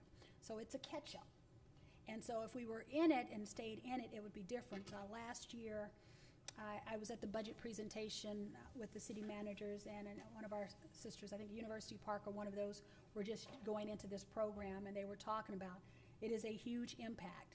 Um, what makes us unique and also wonderful is that we do have a longevity of employees. It is not unusual for someone to start and work their way up. As our police chief, for example, started out as an officer and he's now the chief. Well, his updated service credit would look at his last three years, and so it has an impact. Uh, many of our individuals are very, very interested in those. Uh, this is something that would not and could not take effect until January and would not be even brought back up to you, but we wanted to give you this information until we got to our budget discussions uh, for this next fiscal year, because as it is, is that it only allows it to occur in January. Uh, but we know that you've had conversations and we've had Jennifer to go back and work with TMRS and get real numbers based on our current employment base. And so this is as of today. Now, this number can change. Uh, as we know, people come, people go, and people retire. And so, as he said, the updated service credit only affects our current, and then the COLAs are those who are currently retired. So, we've given you a lot of information, uh, and we wanted to, and that's why we wanted to have a specific item for briefing on this. Uh, what we would like for you to do is to uh, take some time, review it. I have some more data available. Uh, also work some of the numbers for you. Uh, I have been working on a sheet which has all of the cities who responded. So what I can say to you is, although you see this list of cities here, we don't have data from all those cities. Um, many cities did not respond and have not responded because they may not have positions. But I think it's important for you, and in my mind, as a analytical counsel you are, you will want to see the raw data. And so I can take this data in any form or fashion. If there is something that you see in this long list that you would like for me to remove, I would like for you to email me directly and let me know. If there's a city that you see that you would like some more data on as far as should have been here, let me know that because we have been working on still contacting cities to try to get their most up to date data. But I will send you the information in a number of fashions, and one that will just focus on best Southwest cities for you to see that information uh, that kind of led to it. And so um, I want to thank Jennifer, Chief. I want to thank the whole team because a lot of meetings went into this, a lot of effort went into this. Uh, this is a difficult thing to do. Uh, as we talked about releasing the RFP and going through this process, uh, there's no perfect time to present it because it does take time. I can guarantee you that half the data that we had and we received was already outdated by the time we received it.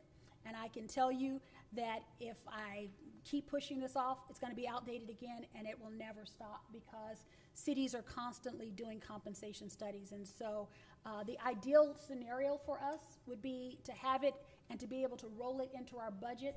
But the problem for me on that is, in this scenario, when it comes to changes, is then I would be working with a new set of numbers that then would actually raise the bar up even higher because I know that some of the cities have already made changes and raised their salaries that aren't actually reflected in our data. Thank you. Uh, I'm going to rewind way into the middle of the presentation to make a, ask a question. In my experience in evaluating personnel costs, the salary itself is only one small piece of the salary. Mm-hmm. And when I take that into the accounting practice and looking at, at personnel costs, it's, look, it's, it's almost as though the, the salary, the base salary itself is like the gross. But after you net, net, net, net, net it out, which means you're adding on all the benefits, adding on any mm-hmm. insurance costs that the city pays, this is what I call netting it out into a fully loaded personnel cost. I don't see that. I see raw salary data, but I don't see a fully loaded personnel cost. Now, my question would be then, not seeing that and being only superficially knowledgeable with the TMRS, does the TMRS that we do not have impact having a fully loaded personnel cost in terms of our being a council and even you folks as staff being able to evaluate where we ought to be? Because looking at raw data simply as the personnel cost leaves out, in my experience, almost forty percent of a fully loaded personnel cost. It's, on this document here, retirement and taxes includes all of that on this uh, implementation number one. So of the uh, 529,000, 64,313 is the uh, benefits cost, TMRS, all of that's incorporated, taxes, everything that the city pays. Okay, let me follow that on to a little more confusion then. So if we were to take this five twenty-nine, what would we add that to, to come up with what our total fiduciary responsibility would be in terms of our accountability for budgeting for total overall personnel? We would then add five hundred twenty-nine thousand dollars to our, to the total personnel costs, regardless of whether civil service or not? How does that come into play for coming up with a fully loaded personnel cost? This is what it looks like. This is if we did everything we talked about. Uh, as we look at it next year, if we just focused on that, the impact to our overall budget is this factor.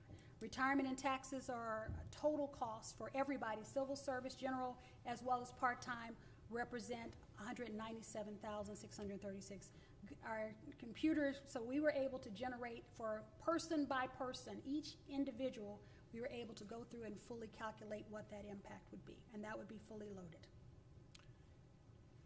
That's the impact. Mm-hmm. So that's one point seven added on to what we pay out. Yes. One point seven a year. So when we look at this number, that would be the accountability in terms of where do we come up with one point seven billion dollars above and beyond where we are today? Absolutely.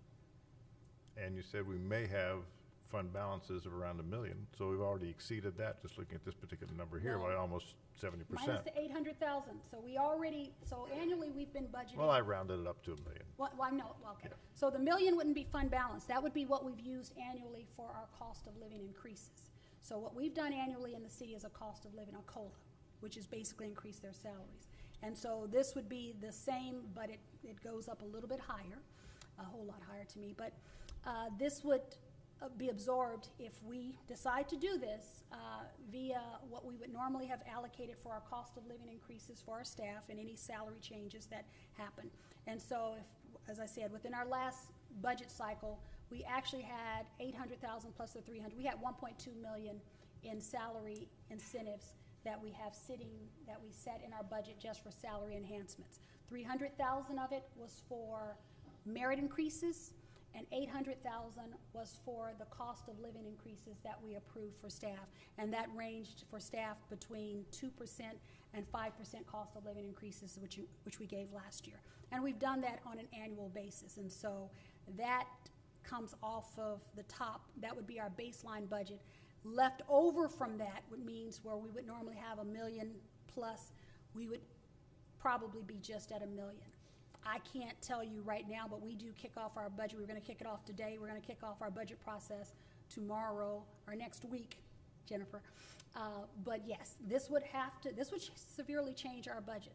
And I think that I've said to staff that if we go forward with this and if we approve something like this, then you've got to understand, my budget directions are, if you want an enhancement, you're going to have to tell me how you take it from within.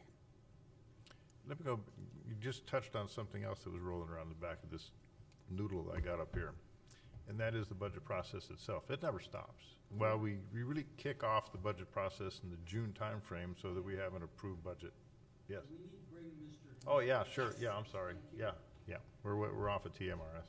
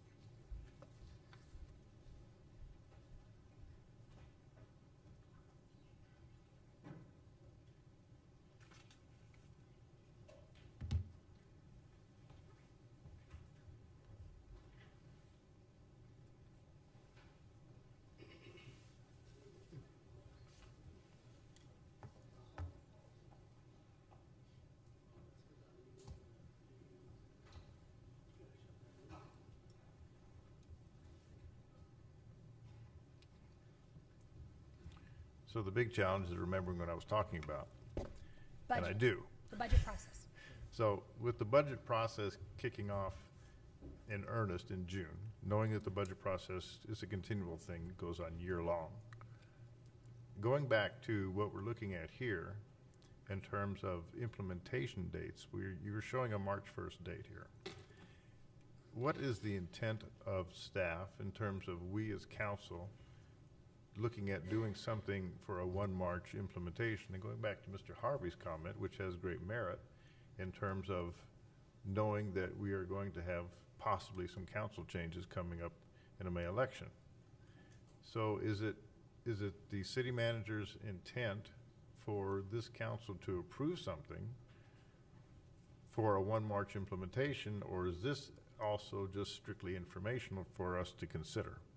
This is the briefing. Uh, My plans are to bring this back to you at our next council meeting. Uh, Because of civil service rules, uh, it would require council to approve the changes to their compensation, pay and compensation plans.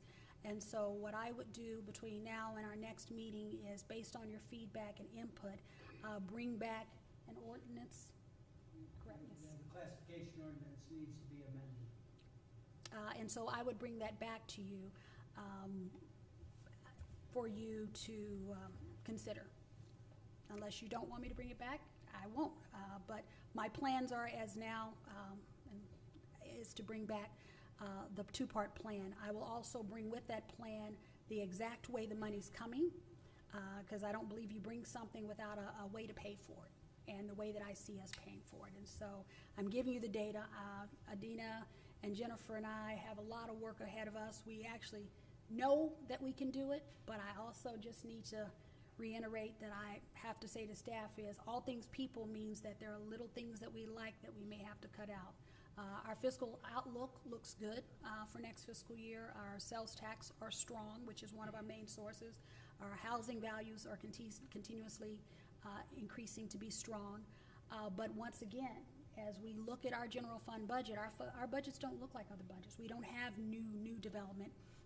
But uh, I look at Gus often and say, uh, staff's depending on you, And we're depending on what we can do to improve our internal values, to increase and to continuously increase our revenue input, or increase the value of what we're bringing in. So another question, if I may.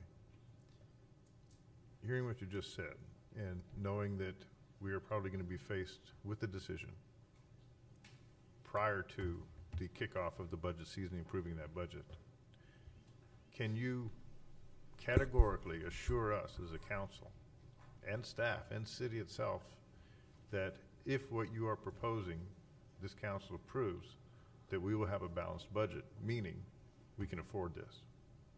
I certainly can, uh, and I have two parts to this. The the caveat is, I'm only asking for the approval of this first part. I know we can afford that. As we move to the second part, this is a budget decision. Even though I, I want to know that you want it in the budget, there's still five hundred and eighty-two thousand. Uh, there's the two percent COLA that is not going to be asked right now. The part-time movement up to one fifteen, that's hundred and thirteen. So there is a two-part process to this, and so because of that, uh, if we get to a point, and I will say this to staff and anyone, because no one expected COVID, that as we're going through this budget process and we don't see the numbers, phase two will not be recommended in our budget. For phase one, very comfortable with. Phase two, we've got to make sure we're watching the numbers. Okay. Uh, Mr. Harvey, and then Mr. Contreras. I just wanted to repeat again that I am uh, opposed to making decisions on a budget item that the new council will not have an opportunity to weigh in on. I repeat. Mr. Contreras. Would you, re- um, understanding that, that some of our, our costs come out of, uh, different revenue sources or different accounts, um, do we currently have, uh, projects that are on hold for lack of funds? Or, um, any issues where, um, money has kept us from going forward with uh, other things other than this issue we're talking about here today? Yes. Uh, We have uh, funding shortfalls in our parks projects that we need to complete. Those are my main ones that come to mind. I think we've identified the funding for the fire station, but I also have a people issue. I, I have project managers which are engineers that I don't have right now. Okay. They left. Uh, thank you. I, I would ask this then, that, um, before our next meeting and we have this discussion, can we be- be provided with some of that information? So that as we have the discussion, we can see where we're lacking funds elsewhere? Absolutely. We did that presentation when we did the bond, and I will get you a copy of the presentation because we gave a uh, presentation when we did the bond conversation of all the projects, how much we needed for each project, Mhm. as well as recommending that we borrow. And so I'll get you an update and make sure those numbers are up to Yeah. date and get that out to council. But we did, uh, I believe, we did that presentation when we were doing the water rate study of all the projects that, or were facing shortfalls. Oh, the service center, that's the main one that I was trying to think of. And so I'll get you that and the numbers of where the shortfalls are. Okay, thank you. Very good. All right, no further comments, uh, questions on this. Uh, Good discussion. And uh, City Manager, I think you were correct in way back when, you said something about we are an analytical council. Yes, we are. And we appreciate the depth of the data that has been presented to us, the hard work that's gone into this, and knowing that the compilation of such data, and as you said, it changes almost daily in terms of what other cities are trying to do. The best that we can do, and as staff and as a council, is take the data as it stands and take a snapshot and work on that data. Because looking at it and saying, is it going to be volatile? And the answer is yes, it's going to be volatile. And I think looking at the economy of the United States today, we're in the highest inflation rate in in four decades. and how that four decades inflation rate is going to impact every single one of us in terms of our disposable income coming out of our back pocket or our purse. It needs to come into play in what we're doing here. And I see that you have included that in terms of the CPI, that 8.4 is 8.4 right now in terms of the inflation rate. And what the Fed is doing with, with interest rates in terms of trying to combat that inflation rate, how each of us are gonna be affected by that, nobody knows at this point. So as time will tell, I said, I think that what, what we need to do is understand that you're doing the very best you can with the information available at this particular moment in time. Now, are there different measures? I believe so. That's why I went back to that very first slide, to, that, that what you did, Ms. Odie, in terms of the, uh, that last column. I don't recall exactly what it was, but, you know, it was your judgment call to use that as a base, as a baseline of comparison. I think there are probably others. And I think what we ought to, as a council ought to do is consider what possible other baselines or statistical baselines could be used. And is it gonna be a spreadsheet this long? I hope not. Maybe it's just another two or three to evidence to us something to make us, where are the apples and oranges? And you know, when you do statistical analysis, one of the things you do is you throw out the outliers. You throw out the high, you throw out the low, and you look at those that are actually workable, and what you can depend on in terms of a general population to say what the decision we're making is going to be a good decision. And what's our risk factor in that good decision? Are we gonna be hundred percent correct? No. Are we gonna be eighty-five percent correct? Maybe. Are we gonna be ninety percent correct? Maybe so. But I think in looking at that and those statistical outliers, saying, this is a jump. Take out this one, take out this one, and let's rework that average, rework that median. And I think that can be substantiated by anybody that's doing math in this place in terms of statistical analysis. Those outliers should be thrown out. And we did that. And that's an understanding that we as, under- we need to understand. Include it maybe in terms of the data compilation, but then throw us something else saying, now here it is with the outliers away. Your X two minus X ones by the, you know, in, in all that kind of poop. But, you know, looking at that and understanding it, I think is something that'd be very important for us in the future. Perfect. Uh, Mr. Koontz, yes, sir. I'm sorry, man. I, I did have one question. Yes, sir. I apologize for w- waiting so long. Uh, how much, if we decided to implement phase one, how much would that impact our ability to Im- implement phase two later on? Um, Implementing phase one uh, will not impact phase two. Uh, It just means that the phase two portion of it, if we just went completely into phase two, it would just move the whole process till the new budget cycle, which would be the one point seven. I think the, the biggest impact of that on phase two is just morale. That's the only, that's the outlier. And that's the reason this off, this auditorium's filled with staff from all over the city. They are concerned. Very good, thank you. All right, uh, formally, this concludes our work session and briefing session. M- Mayor? Yes. Uh, we had, uh, had the executive session, and the way the agenda was structured, it was to take any action necessary of executive session in the work session, or do you want to move it to the end of your meeting? Either way is fine. Well, actually, what I was going to do, because we've been at this for two and a half hours, is take like a five-minute break, come back and actually convene city council, and then we can take the executive session items, and then we can move forward throughout. Okay, so, uh, is that okay with everybody? Um, I need it, so there it is. Uh, please take a, you know, this, to get back as quickly as possible. If you can do it in five minutes, but so recess, uh, city secretary recessing at seven thirty-one. Thank you. Come back quickly.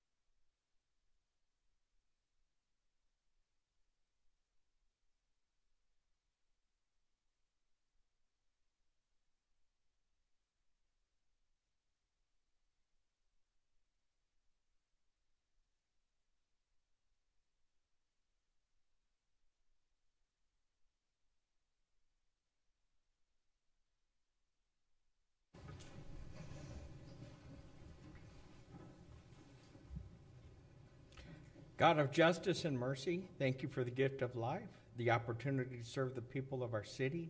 Help us to act with character and conviction. Help us to listen with understanding and goodwill. And help us speak with charity and restraint. Give us a spirit of service. Remind us that we are stewards of your authority. Help us see the humanity and dignity of those who disagree with us and to treat all persons, no matter how weak or poor, with the reverence your creation deserves. And finally, Father, renew us with the strength of your presence and the joy of helping to build a community worthy of the human person. We ask this as your sons and daughters, confident in your goodness and love. Amen. You. Please join me in pledges to our flag. I pledge allegiance to the flag of the United States of America and to the republic for which it stands, one nation under God, indivisible, with liberty and justice for all. Honor the Texas flag. I pledge allegiance to thee, Texas, one state, under God, one and indivisible. Please be seated.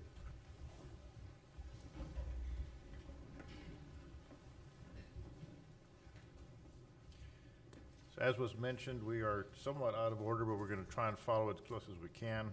I'm going to go into, excuse me, into reports very quickly.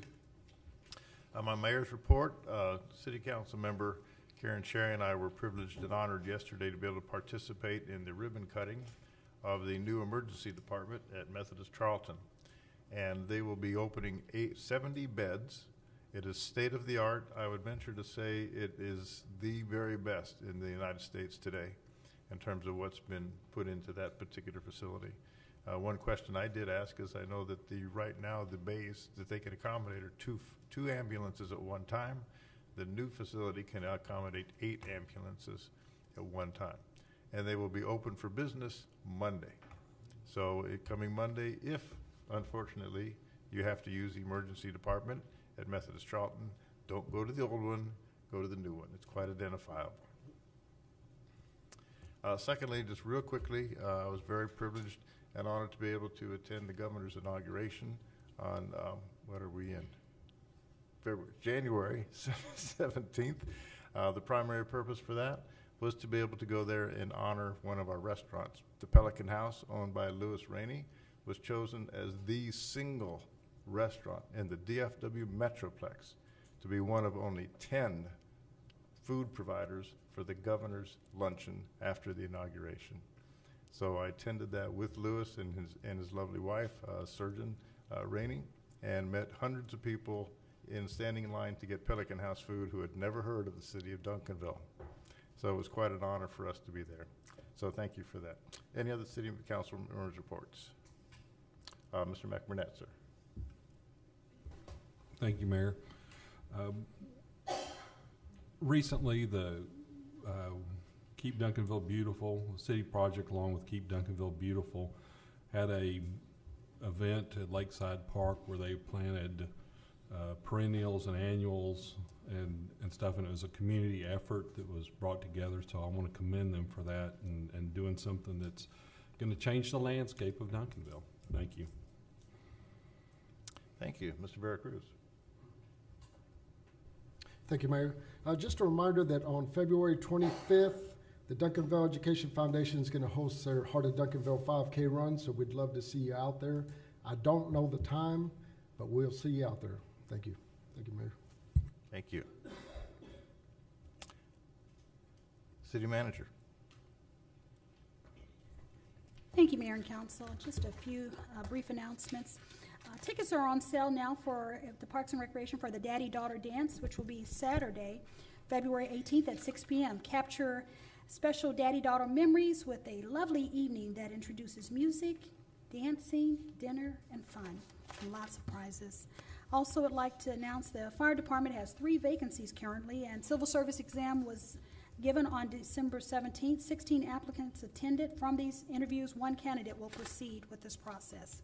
Uh, Public Works, in response to the winter weather event last night, I want to thank our Public Works team and crews who sanded bridges and intersections on our roads, our police and fire who are out on call, street division and equipment. I want to thank all of our staff for continuing to represent uh, Duncanville and our city in the highest regard. Also, uh, our senior center on January 18, Einstein Bur- uh, Bagels in Mansfield, Texas, donated over 50 uh, bagels for the center's monthly social. On Thursday, January 26, Mayor Gordon hosted his monthly Coffee with the Mayor. Finally, I'd like to uh, share with you, uh, last, uh, two weeks ago, I'm pleased that I was elected to the Board of Directors for the Dallas, Greater Dallas Goodwill Board. Uh, This is a good opportunity uh, to interact with some individuals. The things at Goodwill, we most think of donations, but they focus a lot on workforce and workforce development. And so I'm excited to be serving in this role uh, within, as a member and the only city manager sitting on this current board with a lot of wonderful developers, businessmen that we hope to find more interest in our city of Duncanville. And that concludes my report. Thank you, City Manager, and congratulations on the election. Moving on to item, uh, where are we, two A, proclamations and presentations. I'm gonna call upon our Assistant, uh, Parks and, Parks and Recreation, what do we call, Manager, Director, Mr. Tyler Agee. And Mr. Agee will do the proclamations and presentations for both item A and item B.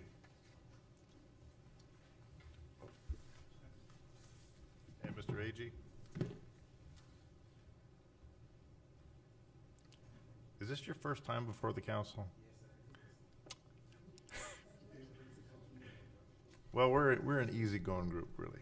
So, welcome, congratulations on your appointment to your position. We're very thankful to have you here in our city. You have a great background and a great resume.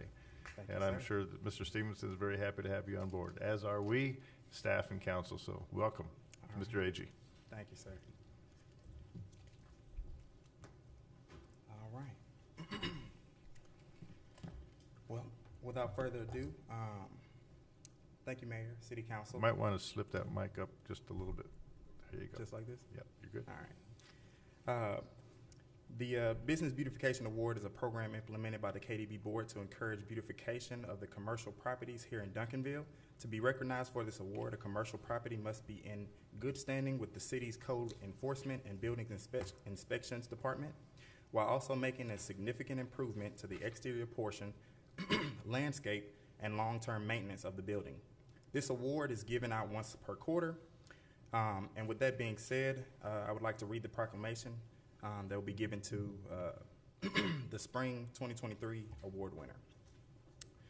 Um, whereas the City of Duncanville is committed to improving the physical quality of the community life, and whereas the Keep Duncanville Beautiful Board was established to promote this commitment, and whereas the mission of the Keep Duncanville Beautiful Board is to empower Duncanville citizens and businesses to take responsibility for enhancing their community environment. And whereas each quarter, the Keep Duncanville Beautiful Board recognizes one commercial property within the city for significant improvements to the exterior portion of the property, landscape improvements, and/or long-term maintenance, and property that exemplifies high-quality standards.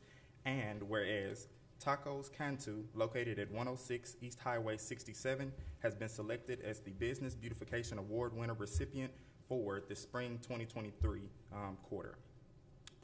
Now, therefore, I, uh, Barry L. Gordon, Mayor of the City of Duncanville, Texas, do hereby urge all residents to join me in congratulating Tacos Cantu, located at 106 East Highway 67, and commending this business for contributing to the beautification of our city. If I could get the representatives for uh, Tacos Cantus to come up and join me, the owners, uh, Miss Juana and Leonel Cantu. And baby? Bring baby.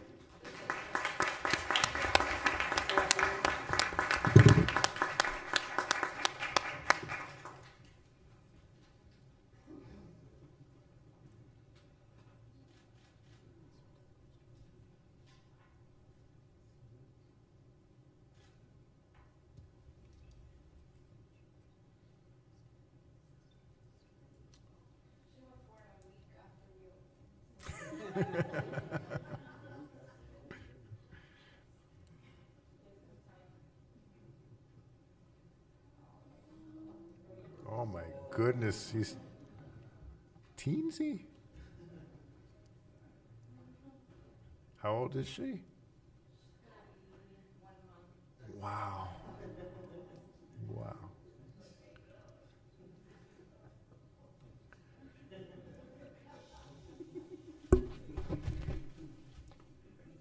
I would like to mention that Tacos Cantu provided breakfast for our staff during the recent ice storm. Thank you very, very much for that. Congratulations.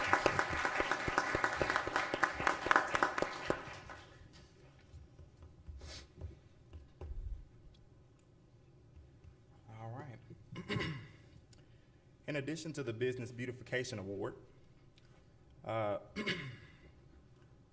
the KDB Board also uh, picks uh, residential curb appeal winners. Um,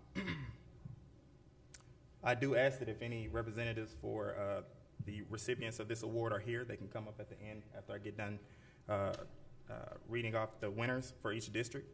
Um, these citizens are being recognized for their, um, or being notified, or, I'm sorry, the citizens are being recognized for this award have been noticed by the board for respectfully, for their responsibility to enhance their community, starting with their own front door. From District One, we have Liz- Elizabeth and Arnulio Ram- Ramos. Address eight fifteen Green Hills Road from District One. From District Two, we have Anthony Hop at two oh two Robin Hill Road. Also from District Two, we have Nickel Benson at two four seven Timothy Trail. In District Three, we have Linda Young, nine one nine Eisenhower Drive. District Four is Leon Herrera at nine ten Cedar Run Drive. And then we have District Five with Jana McBroom at one, one thousand one hundred and three Rita Lane. Are any of those individuals present? Please come forward.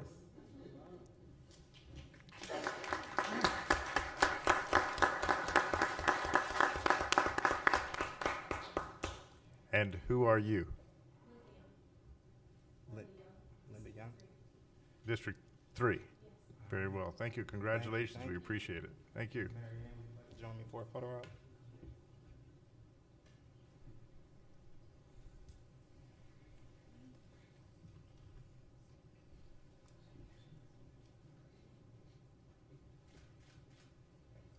Thank you for keeping our city beautiful. Thank you all. Um, City Attorney, I'm going to go to those executive session items now before citizen input, if we may. Okay, thank you, Mayor. As a result of the executive session that we held earlier on item one, uh, which was the matter involving Eon, there's a motion that I would like to read for you, for the council to consider. Uh, The motion to, is to approve a settlement agreement by and between EON Reality LLC and the city of Duncanville in the amount of one hundred and twenty thousand dollars for back rent from Eon for the building now known as City Hall Annex located at two oh one East Wheatland, Duncanville, Texas, and to authorize the city manager to execute the appropriate documents. Thank you, Chair. I'll entertain a motion to approve. So moved. Second. We have a motion to approve by Councilmember McBurnett, second by Councilmember Koontz. Council, please vote. Unanimously approved. Thank you. Thank you, Mayor. No, there's no action as a result of the other agenda item. That completes our executive session. Thank you. Appreciate that. Okay, moving on to citizens' input.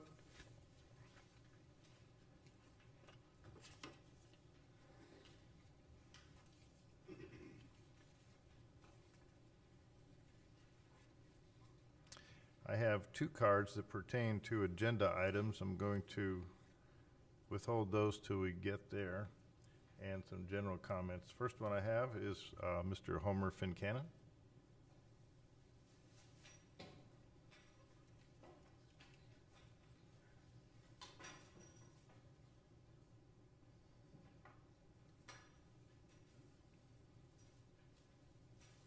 And uh, just remind folks that in accordance with our city rules, individuals that wish to speak during our citizen comment time are limited to two minutes. And there is a timer on the lectern there, and city, city secretary monitors the time as well. So please limit your comments to two minutes.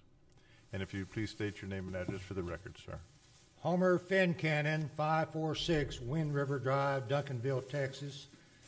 Uh, Resident since 1962, so that makes 60-some years I've been paying taxes. I did see one of those jobs, part-time jobs, in the park department. It was for, if it was for fishing over at, uh, uh, at your lake over there, uh, off of Cedar Ridge, back in there, I wouldn't mind applying for that job, and they could just take it off my taxes.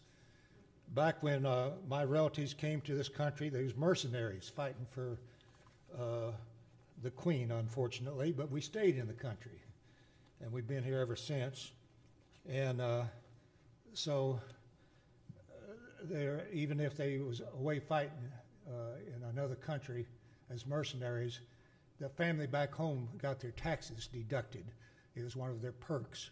And uh, we may need to consider that in years to come because I know my two little Faramitas homes um, uh, pay out, you know, close to nine thousand dollars in a year, and and I know the I know the firemen and the policemen and others need it. I'm an old Teamster, and I know they didn't negotiate up uh, with fine people like you. They had back rooms, Jimmy Hoffa and some of the mafia and everybody, and they got the wages up there good and I was a Teamster. In fact, I shook Jimmy Hoffa's hand. I don't know what happened to him, but you know he's he's gone. but uh, anyway, there goes my two minutes already. I Yeah, haven't got to timer's running. in the air.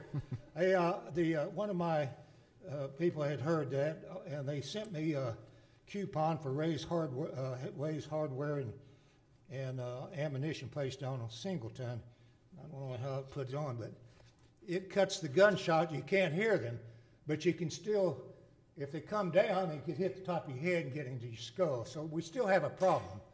And I haven't heard anybody uh, addressed it. They said they was going to look into those uh, boomerang machines that could tell where the gunfire was coming from. Oh, uh, thank you, officer. That's it. Got your input. Thank you, sir. Uh, the next individual is Teddy Williams.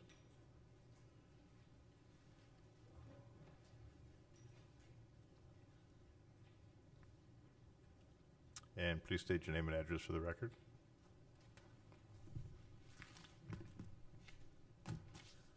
Hi, I'm Teddy Williams, 866 Astaire Avenue, Duncanville, Texas. I'm here to um, say first and foremost, thank you to this council um, very much for working with me and others, um, not only in my neighborhood, but all over Duncanville um, pertaining to the noise pollution um, that we're dealing with at this present time. Um, the speed enforcement signs uh, that the city manager and chief of police um, worked with me on with getting those put into Hollywood Park are working. Speed has gone down considerably. However, the noise pollution is still, um, in my opinion, a willful, um, negligent type of a situation uh, that's incumbent upon this council, the chief of police, to really and truly mitigate at this time. It's been ongoing for three years the chief of police, um, it would really be nice if we could see a, a few more updates about how they are mitigating some of these issues because I do know that they have to see it and hear it to be able to ticket um, those who are making noise with their vehicles. Other than that, um, I would say again, I would um, highly encourage any leader who has um, any type of um, report or update um, to always give us some type of an answer or they'll find an answer, but I don't know is not ever a good response. Other than that, thank you. Thank you.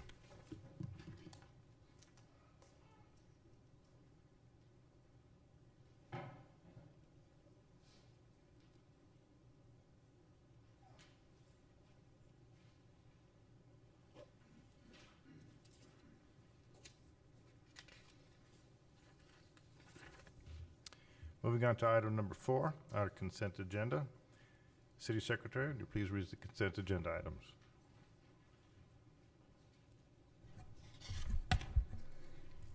Thank you, Mayor. Consent agenda item 4A, consider a resolution authorizing a cooperative purchasing agreement with Cummins Incorporated to procure an emergency generator for the new Fire Station 271 through Sourcewell Contract 092222-CMM in the expenditure amount of $125,907.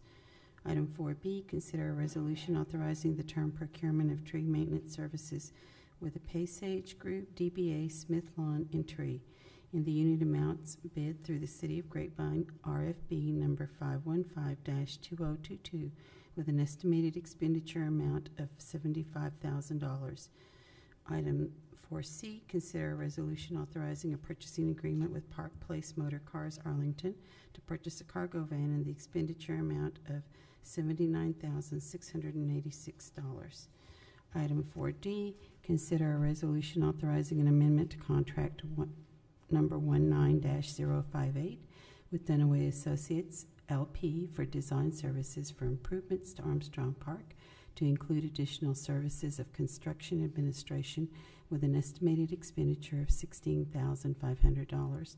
Item 4E, consider a resolution authorizing this, the purchase of self-contained breathing apparatus, SCBA, from Metro Fire Apparatus Specialists Incorporated through the BuyBoard contract number 603-20 for a discounted unit price bid with an estimated expenditure amount of $276,022. Item 4F, consider a resolution authorizing the purchase of a second set of personal protective equipment, PPE, turnout gear from Casco Industries through the BuyBoard contract number 603-20 for a discounted unit price bid with an estimated expenditure amount of $141,362. Item 4G.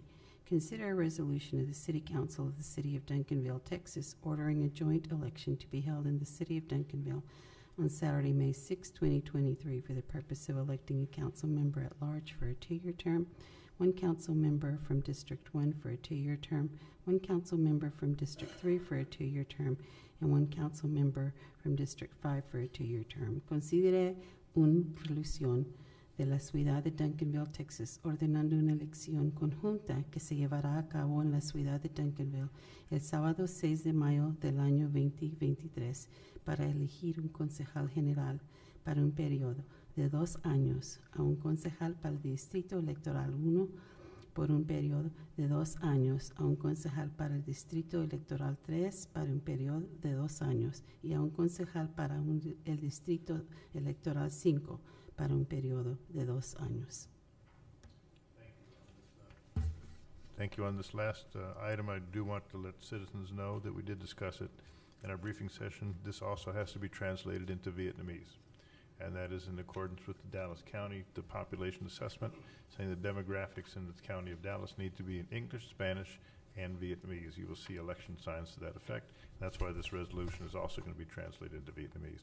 So the chair will entertain a motion to approve the So consent moved. items. Second.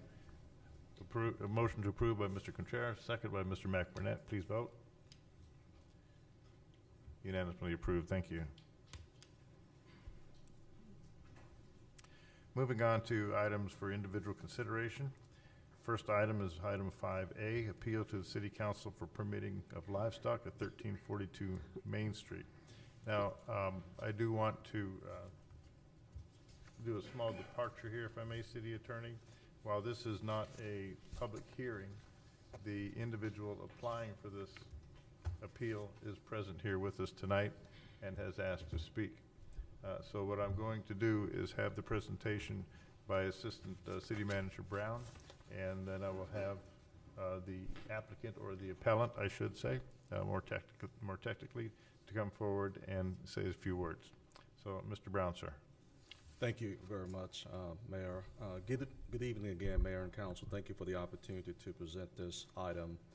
Uh, This item was placed on the agenda for uh, several reasons. Uh, First of all, we wanted the council to be aware that a written appeal has been uh, filed with our city secretary regarding the denial of a livestock um, permit. Secondly, I wanted to uh, give you a brief overview of this item. And then thirdly, we want to determine how the council would like to proceed. Um, The, as you said, uh, Mayor, the applicant is here this evening, Ms. Reyes is here. In my 16 years of being with the city, I don't recall us having a denial before the council, Um, so we would like to know how you would like to proceed. Um, In October of 2022, uh, the applicant filed, um, submitted a um, permit for a livestock um, permit. I'm sorry, excuse me, submitted the proper paperwork for a livestock permit. Um, This permit went before the local health authority, who is the police chief. Uh, It was denied for a number of reasons. According to our city ordinance, once it's denied, then the applicant has an opportunity to appeal to appeal committee, which is made up of the police chief, the fire chief, and myself. Uh, The committee did hear the appeal. We upheld the police chief's decision for the same reasons it was denied. And the applicant now has determined that she would like to appeal before the city council. So um, at this stage, uh, Mayor, it's really uh, how the council would like to proceed. If this is something you would like to hear this evening, if you want it to be rescheduled, but again, the applicant is present this evening. Mr. Brown, I think what we will do uh, is allow the uh, appellant to come forward and uh, allow those comments. I'm I'm gonna limit those to two minutes, as we've done with citizens input. And uh, we will hear that, and then I think we can have some discussion and make a decision on this. And I will call you back for any questions from council, Mr. Brownson. Uh, So it is, um, I have uh, Miriam Reyes. Please come forward.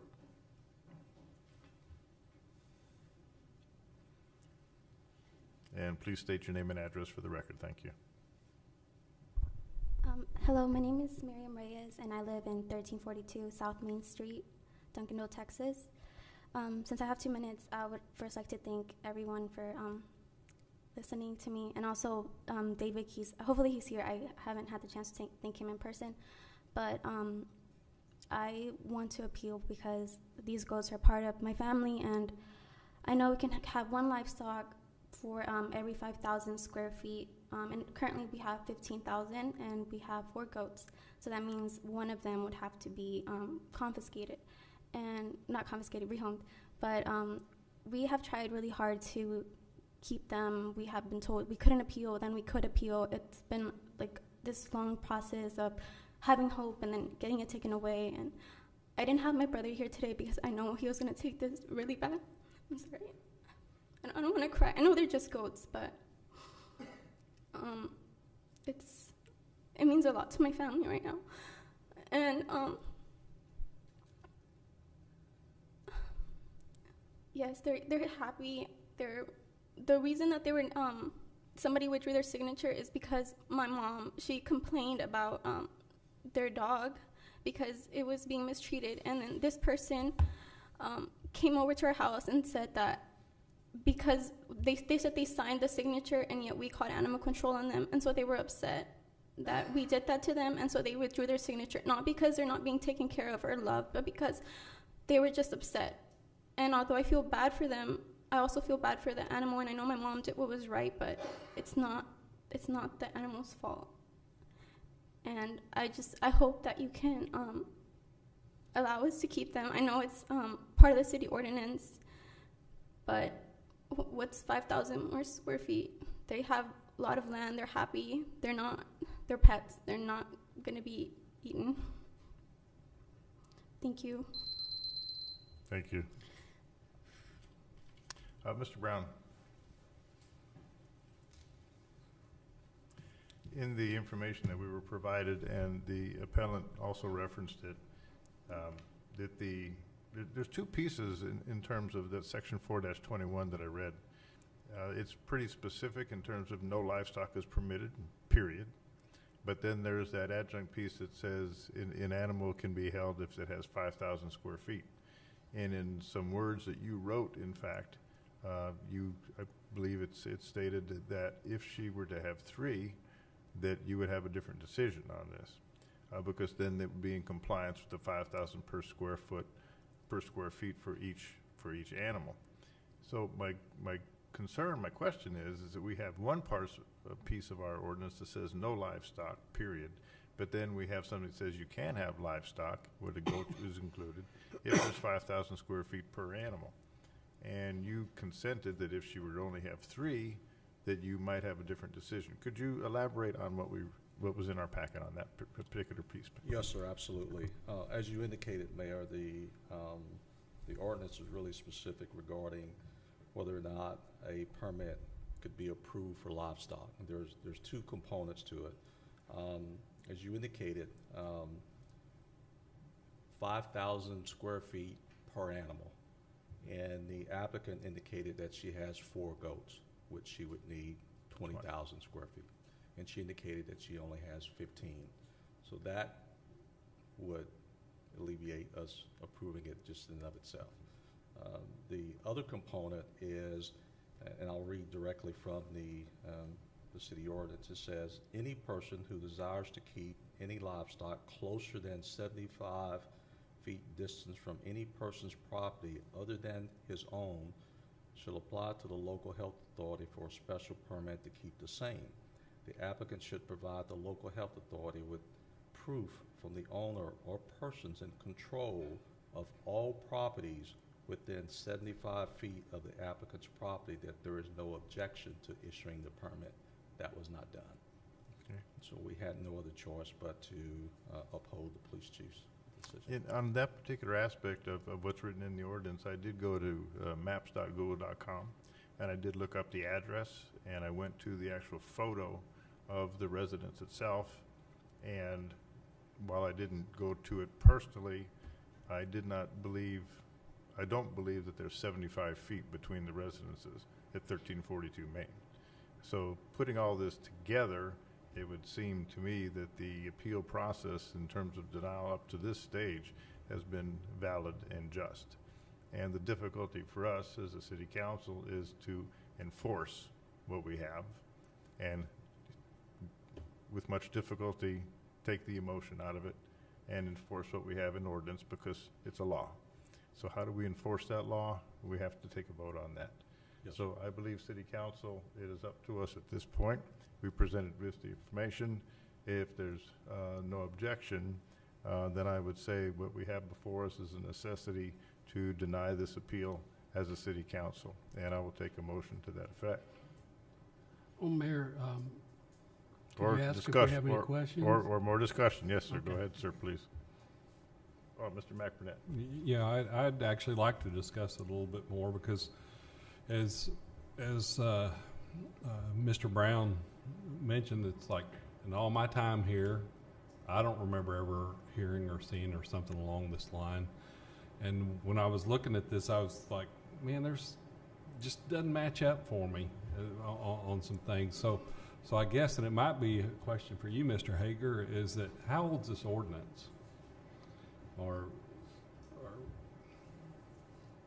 Uh, originally passed in 1982. And it's been amended subsequently over the years, as indicated in the notes.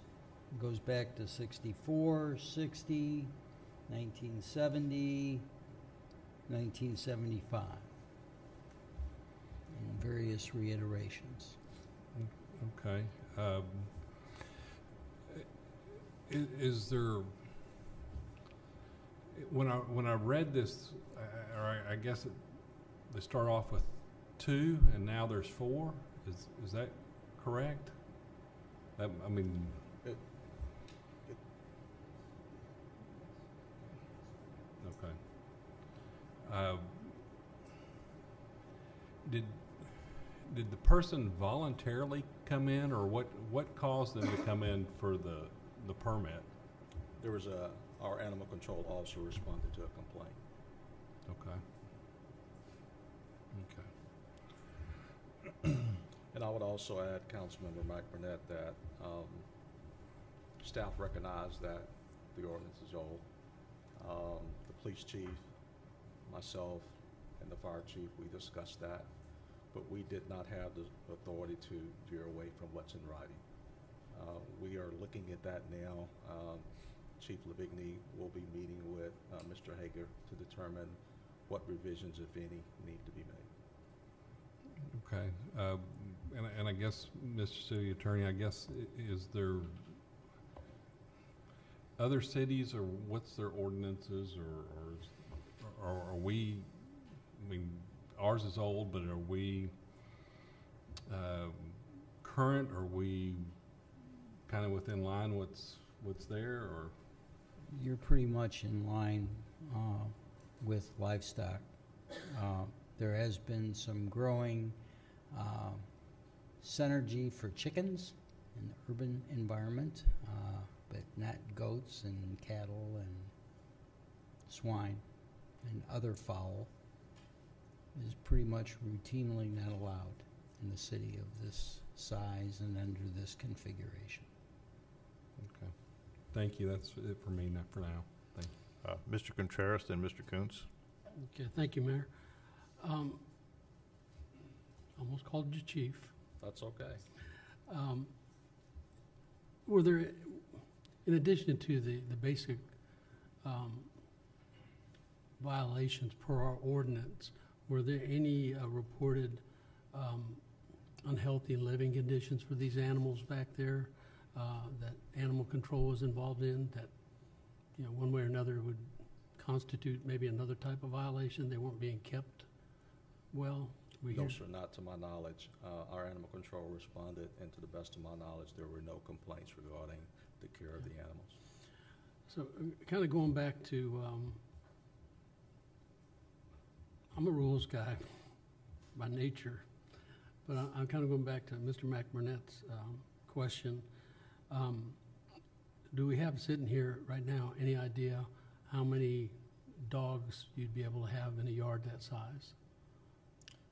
I believe there is an ordinance. I don't recall it off the top of my head regarding the the number. Do you recall?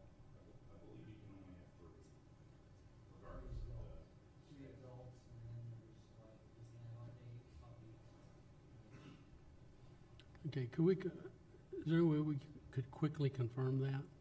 I'm, I'm trying to make a point here in that if, if that number is more than three, um, which I've seen, I gotta tell you right now, I'm gonna admit I got four dogs. Um, Call animal control. I don't know.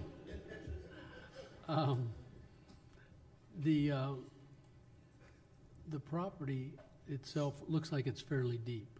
It's hard to tell, and I just Google Earthed it, and it looks like it's fairly deep. And I'm thinking if, if uh, someone could have um, up to four dogs, and given the breed, they could be as big as a goat, then I'm trying to make some sense out of this to be fair. So that's all I'm looking for is what, what's Well, that number? Dogs aren't livestock. They're domesticated animals. For livestock's different. You know, no, meat, milk. It's a different kettle of fish than a pet. Understand. Okay. And by definition, under your ordinance, even if you allowed twenty dogs, these aren't dogs. Well, the ordinance has an appeal process for a reason, and that's what we're talking about right But now. that's arbitrary, and you're gonna violate your own ordinance. So you're, are you advising us? I'm giving against- you legal advice. You can do as you please. No, I want to hear your legal advice. My legal advice is you can't apply the standards for dogs and cats because they are treated differently in your ordinance. Now, if you want to go back and change the ordinance, that's, again, your purview to do that. No, you made a good And, point. and, and if you, if you as a body are of mind to do that, then you need to not make a decision about this and go back and change the ordinance. I understand. And not violate what you've written, or what your predecessors have written. Because now it's a dangerous precedent, because if I come in here tomorrow and I was a neighbor, then I have three beef cattle that I want to move into my backyard. Now what are you gonna do? Oh, I understand. Thank you for your legal advice. Mr. Koontz. Mr. Koontz. Thank you, Mayor.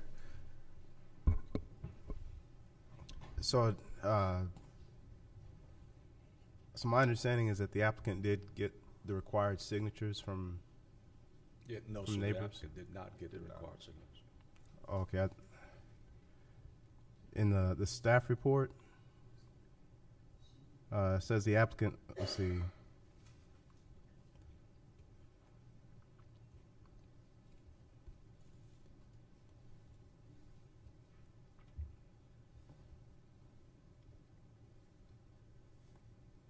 Okay, I'll, I'll have to go back and, and find where, where I read that. There Um, was, there was one um, resident, um, Councilmember Koontz, who initially um, signed off and um, she changed her mind.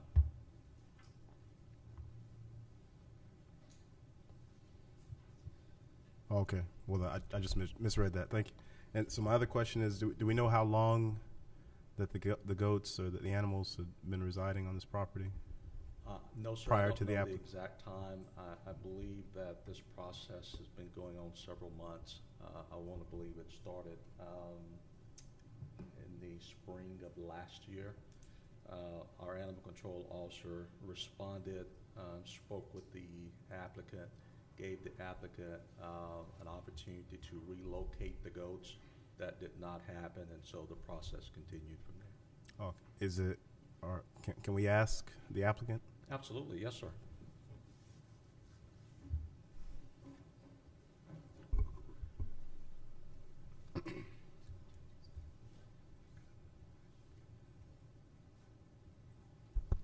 Yes, sir. Uh, uh, so exactly, or about how long have the goats or the, the animals resided on the property pr- prior to y'all applying for the permit? So we got the mom and the dad um, on March 28th of 2021, and then um, they we weren't planning on them having babies, but they had twins. May, um, not May, it was um, January 25th of last year. So they just turned one year old, and yeah, so we've had them for two years, about to be two years in Okay. March Okay. total. Thank you. Um, and then I, I found, so in the, the staff report, it says after a lengthy process, the applicants presented the signatures to the local health authority.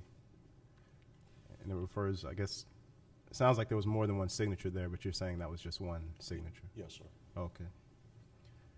Uh, a- and then, in, in the letter that we got from you, the, so the option is uh, to either, at least our current option, uh, is to reduce, or either to relocate the goats to another location, or reduce the number of goats from four to three. So we're talking about one, one animal here is what's making the difference. Well, that's, that's part of it, yes, sir. If you reduce the number of goats from four to three, you meet one component of the um, city ordinance that's in violation, but you also need the signatures from all the residents that are within seventy-five feet from the, excuse me, from the property. Oh. That's it for my questions, but, but I would like to uh, ask the council to entertain uh, revisiting the ordinance itself and maybe seeing if there might be some updates we need to make there. Thank you. Um, I'm going to call on, on the next person that had a, a comment, Mr. Veracruz. I will say at this point, I am not inclined to do so. I think we have an ordinance, we have a law, it's our job to enforce it. Uh, Mr. Veracruz. Thank you, Mayor. I was just going to say uh, basically the same thing, just revisit the, um, the ordinance because with uh, updated times, PTSD, so on and so forth, there's different sources of um, rules and ordinances that allow different types of animals. Now, I know this is a livestock into restaurants, hotels, Home Depot, and so that's, that's just my comment. Thank you. Uh, back to Mr. Contreras, and then Mr. McBurnett has another comment. Yes, I just want to stand uh, corrected. uh, with- As Mr. Koontz was answering his question, I got clarification that I misunderstood that they didn't have the appropriate number of signatures. Yes, sir. So that was part of the decision Yes, sir. to decline. Okay, thank you. Mr. Uh, Mr. McBurnett. Thank you, Mayor. Uh, I- I'm thinking about this process, and, and so when we're talking about signatures, uh, I mean, they've had it, and I guess October twenty-second is when they w- went in for the, uh, to obtain the permit? Yes, sir. Is that- How much time are they given to g- obtain signatures? Um, I don't know the answer to that question off the top of my head, sir. Mm, Okay, city, city attorney, is it addressed in the ordinance at all? And stuff? No, it is Um, not. I would assume that if, and I realize I'm a lawyer, but I, I would think I would get those signatures before I made the application. Because we're all presumed to know the law, and the law says you have to have the signatures of everyone within seventy-five feet, so I would gather those before I made the application. But I do, there's nothing in the ordinance that specifically addresses it to answer your question. Okay, thank you. Um, Mayor, I'm along with Mr. Koontz. I, I think we ought to, uh, table this and have it Well. I disagree at this point. I have Well, another I'm, question. I'm not finished speaking, sir. Um, I, I think we should table this, and I think we should revisit the ordinance. Thank you. Thank you. I continue to disagree. Uh, I have a question for the appellant, for the appellant, please. I looked up this property on the Dallas County Appraisal District, uh, uh, records, and I looked for the owner of the property. Are you the owner of the property? No, Who is? my father. So you're a dependent. Yes, sir. You have no ownership in this property. No, sir. Thank you. Mr. Harvey? Uh, thank you, Mayor. I, I am hearing council members' voices going both ways on this issue. I'd like for each council member to be polled to see if they think it right to revisit the ordinance. In other words, I'd like to appeal what the mayor said. Fair shot. Uh, Go by uh, numerical order and come back to you at the end, Mr. uh, Harvey, as at-large. So uh, polling, what we're doing now is taking consensus poll. We're not taking a vote, we're taking a consensus poll on whether this ordinance should be revisited, which is going to put this process in stall for an inordinate amount of time. So, Mr. Veracruz, would you like to re- have this revisited and have, and basically, we're gonna table this? Okay, so that is the question. Mr. Veracruz, do you, Veracruz, do you wish to table this and have the ordinance revisited? Yes. Mr. Ver, Mac Yes. Mr. Koontz? Yes. Ms. Cherry? Yes. Mr. Contreras? Yes. Mr. Harvey? Sure. Negative on mine, that's a six to one. This is tabled. Thank you. Mayor, can I ask And the ordinance will be revisited. If our staff responds to a complaint, how, how should they, how should they handle it? I have no, i- I have no idea, because now we have an ordinance in effect in which the law is being disregarded. So I cannot answer that question for you, Mr. Brown. The- the Somebody else I needs I to take speak on that. exception ordinance- to the fact that you're judging that we are disregarding the law. No one here has mentioned anything about disregarding the law. We ask for something that's within our abilities and our rights to ask for. Fine, very good. Thank you very much.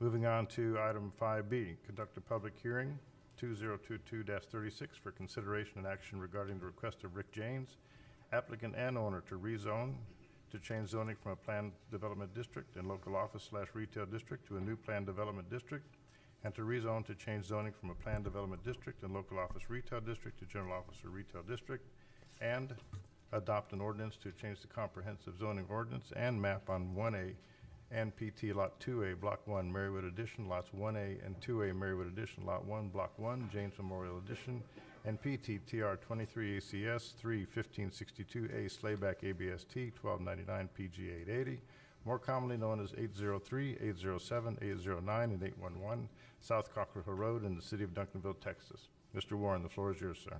Thank you, Mayor, Council. This is a request for zoning change at 803, 807, 809, and 811 South Cockrell Hill Road. The request is a zoning change to allow for an accessory use of a parking garage for the purpose of an existing funeral home business. The future land use map designation is retail commercial. The current zoning districts are local office retail district and Plan Development District. The proposed zoning districts are General Office Retail District and a new Plan Development District. In this image, we see the four, uh, four properties, 803, 807, 809, and 811 South Cockrell Hill Road.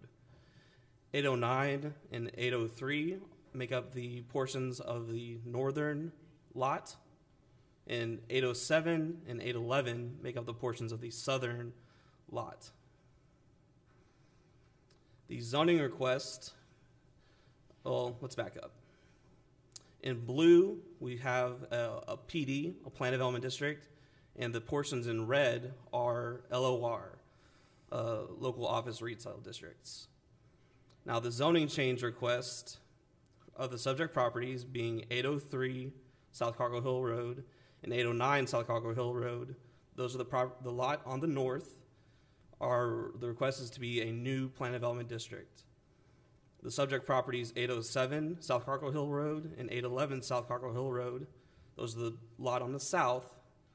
Uh, this new lot is proposed to be LOR, local office retail, or GOR, excuse me. Uh, totally GOR.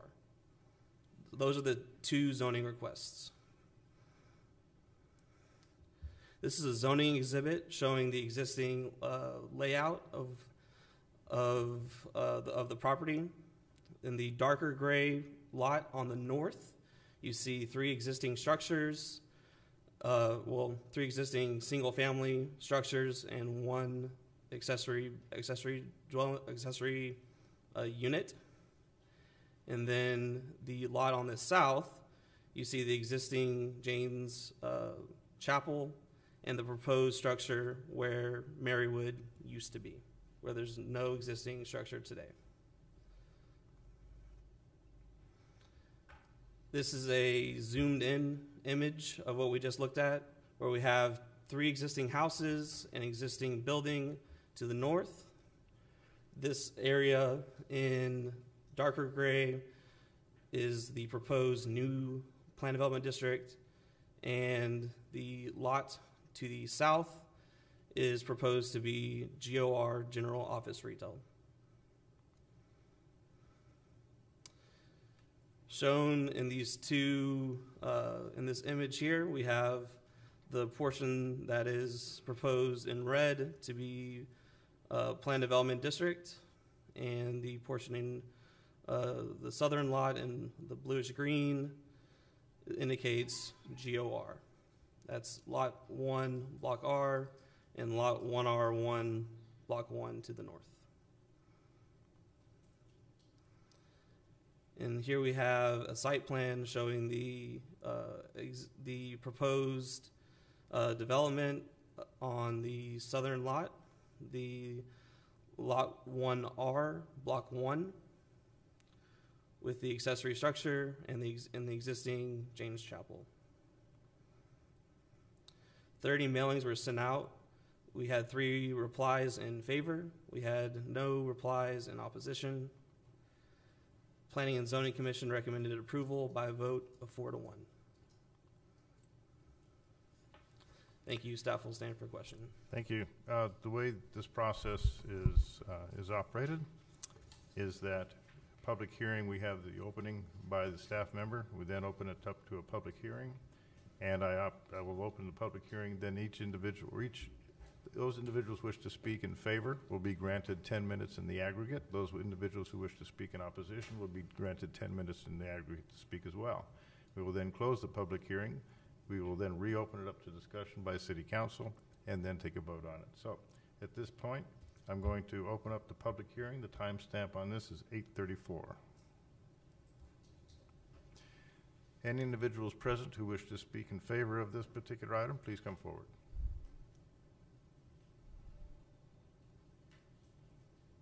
Seeing none, closing this portion of the public hearing for those who wish to speak in favor. I'm opening at the, at 8:30, 8:34 again. Uh, Opening those who wish to speak in opposition to this item, please come forward. And I do have a card here from an Emily Bridges. Is Emily Bridges present? Emily Bridges uh, did have here, she said, "I do not wish to speak, but please record my opposition to this particular item." Individuals not present.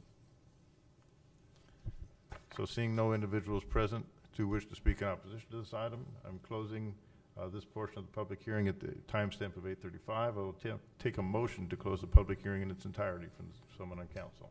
So moved. I Have a move uh, to approve, close the public hearing. with Mr. Second. Second by Mr. Koontz. Please vote on closing the public hearing. Thank you. Public hearing is closed at eight thirty-five. Ma- Mayor Gordon, just by way of, uh, this is a little different. We don't actually have an ordinance prepared tonight because there was two components. It's almost two zoning cases. So if the council's in favor of the presentation and the recommendation of P and Z, I will construct two ordinances uh, for our next meeting to be put on the consent agenda if it passes unanimously. Okay, thank you. So, uh, it is now time for the council to have any further discussion on this item. Seeing no discussion required or desired, uh, the chair will entertain a motion to approve the item as presented, knowing that the ordinances will be crafted and presented at a later date by our city attorney. So moved. Second. We have a motion to approve by Mr. McBurnett, a second by Mr. Contreras. Please vote. Item is unanimously approved. Thank you very you. much.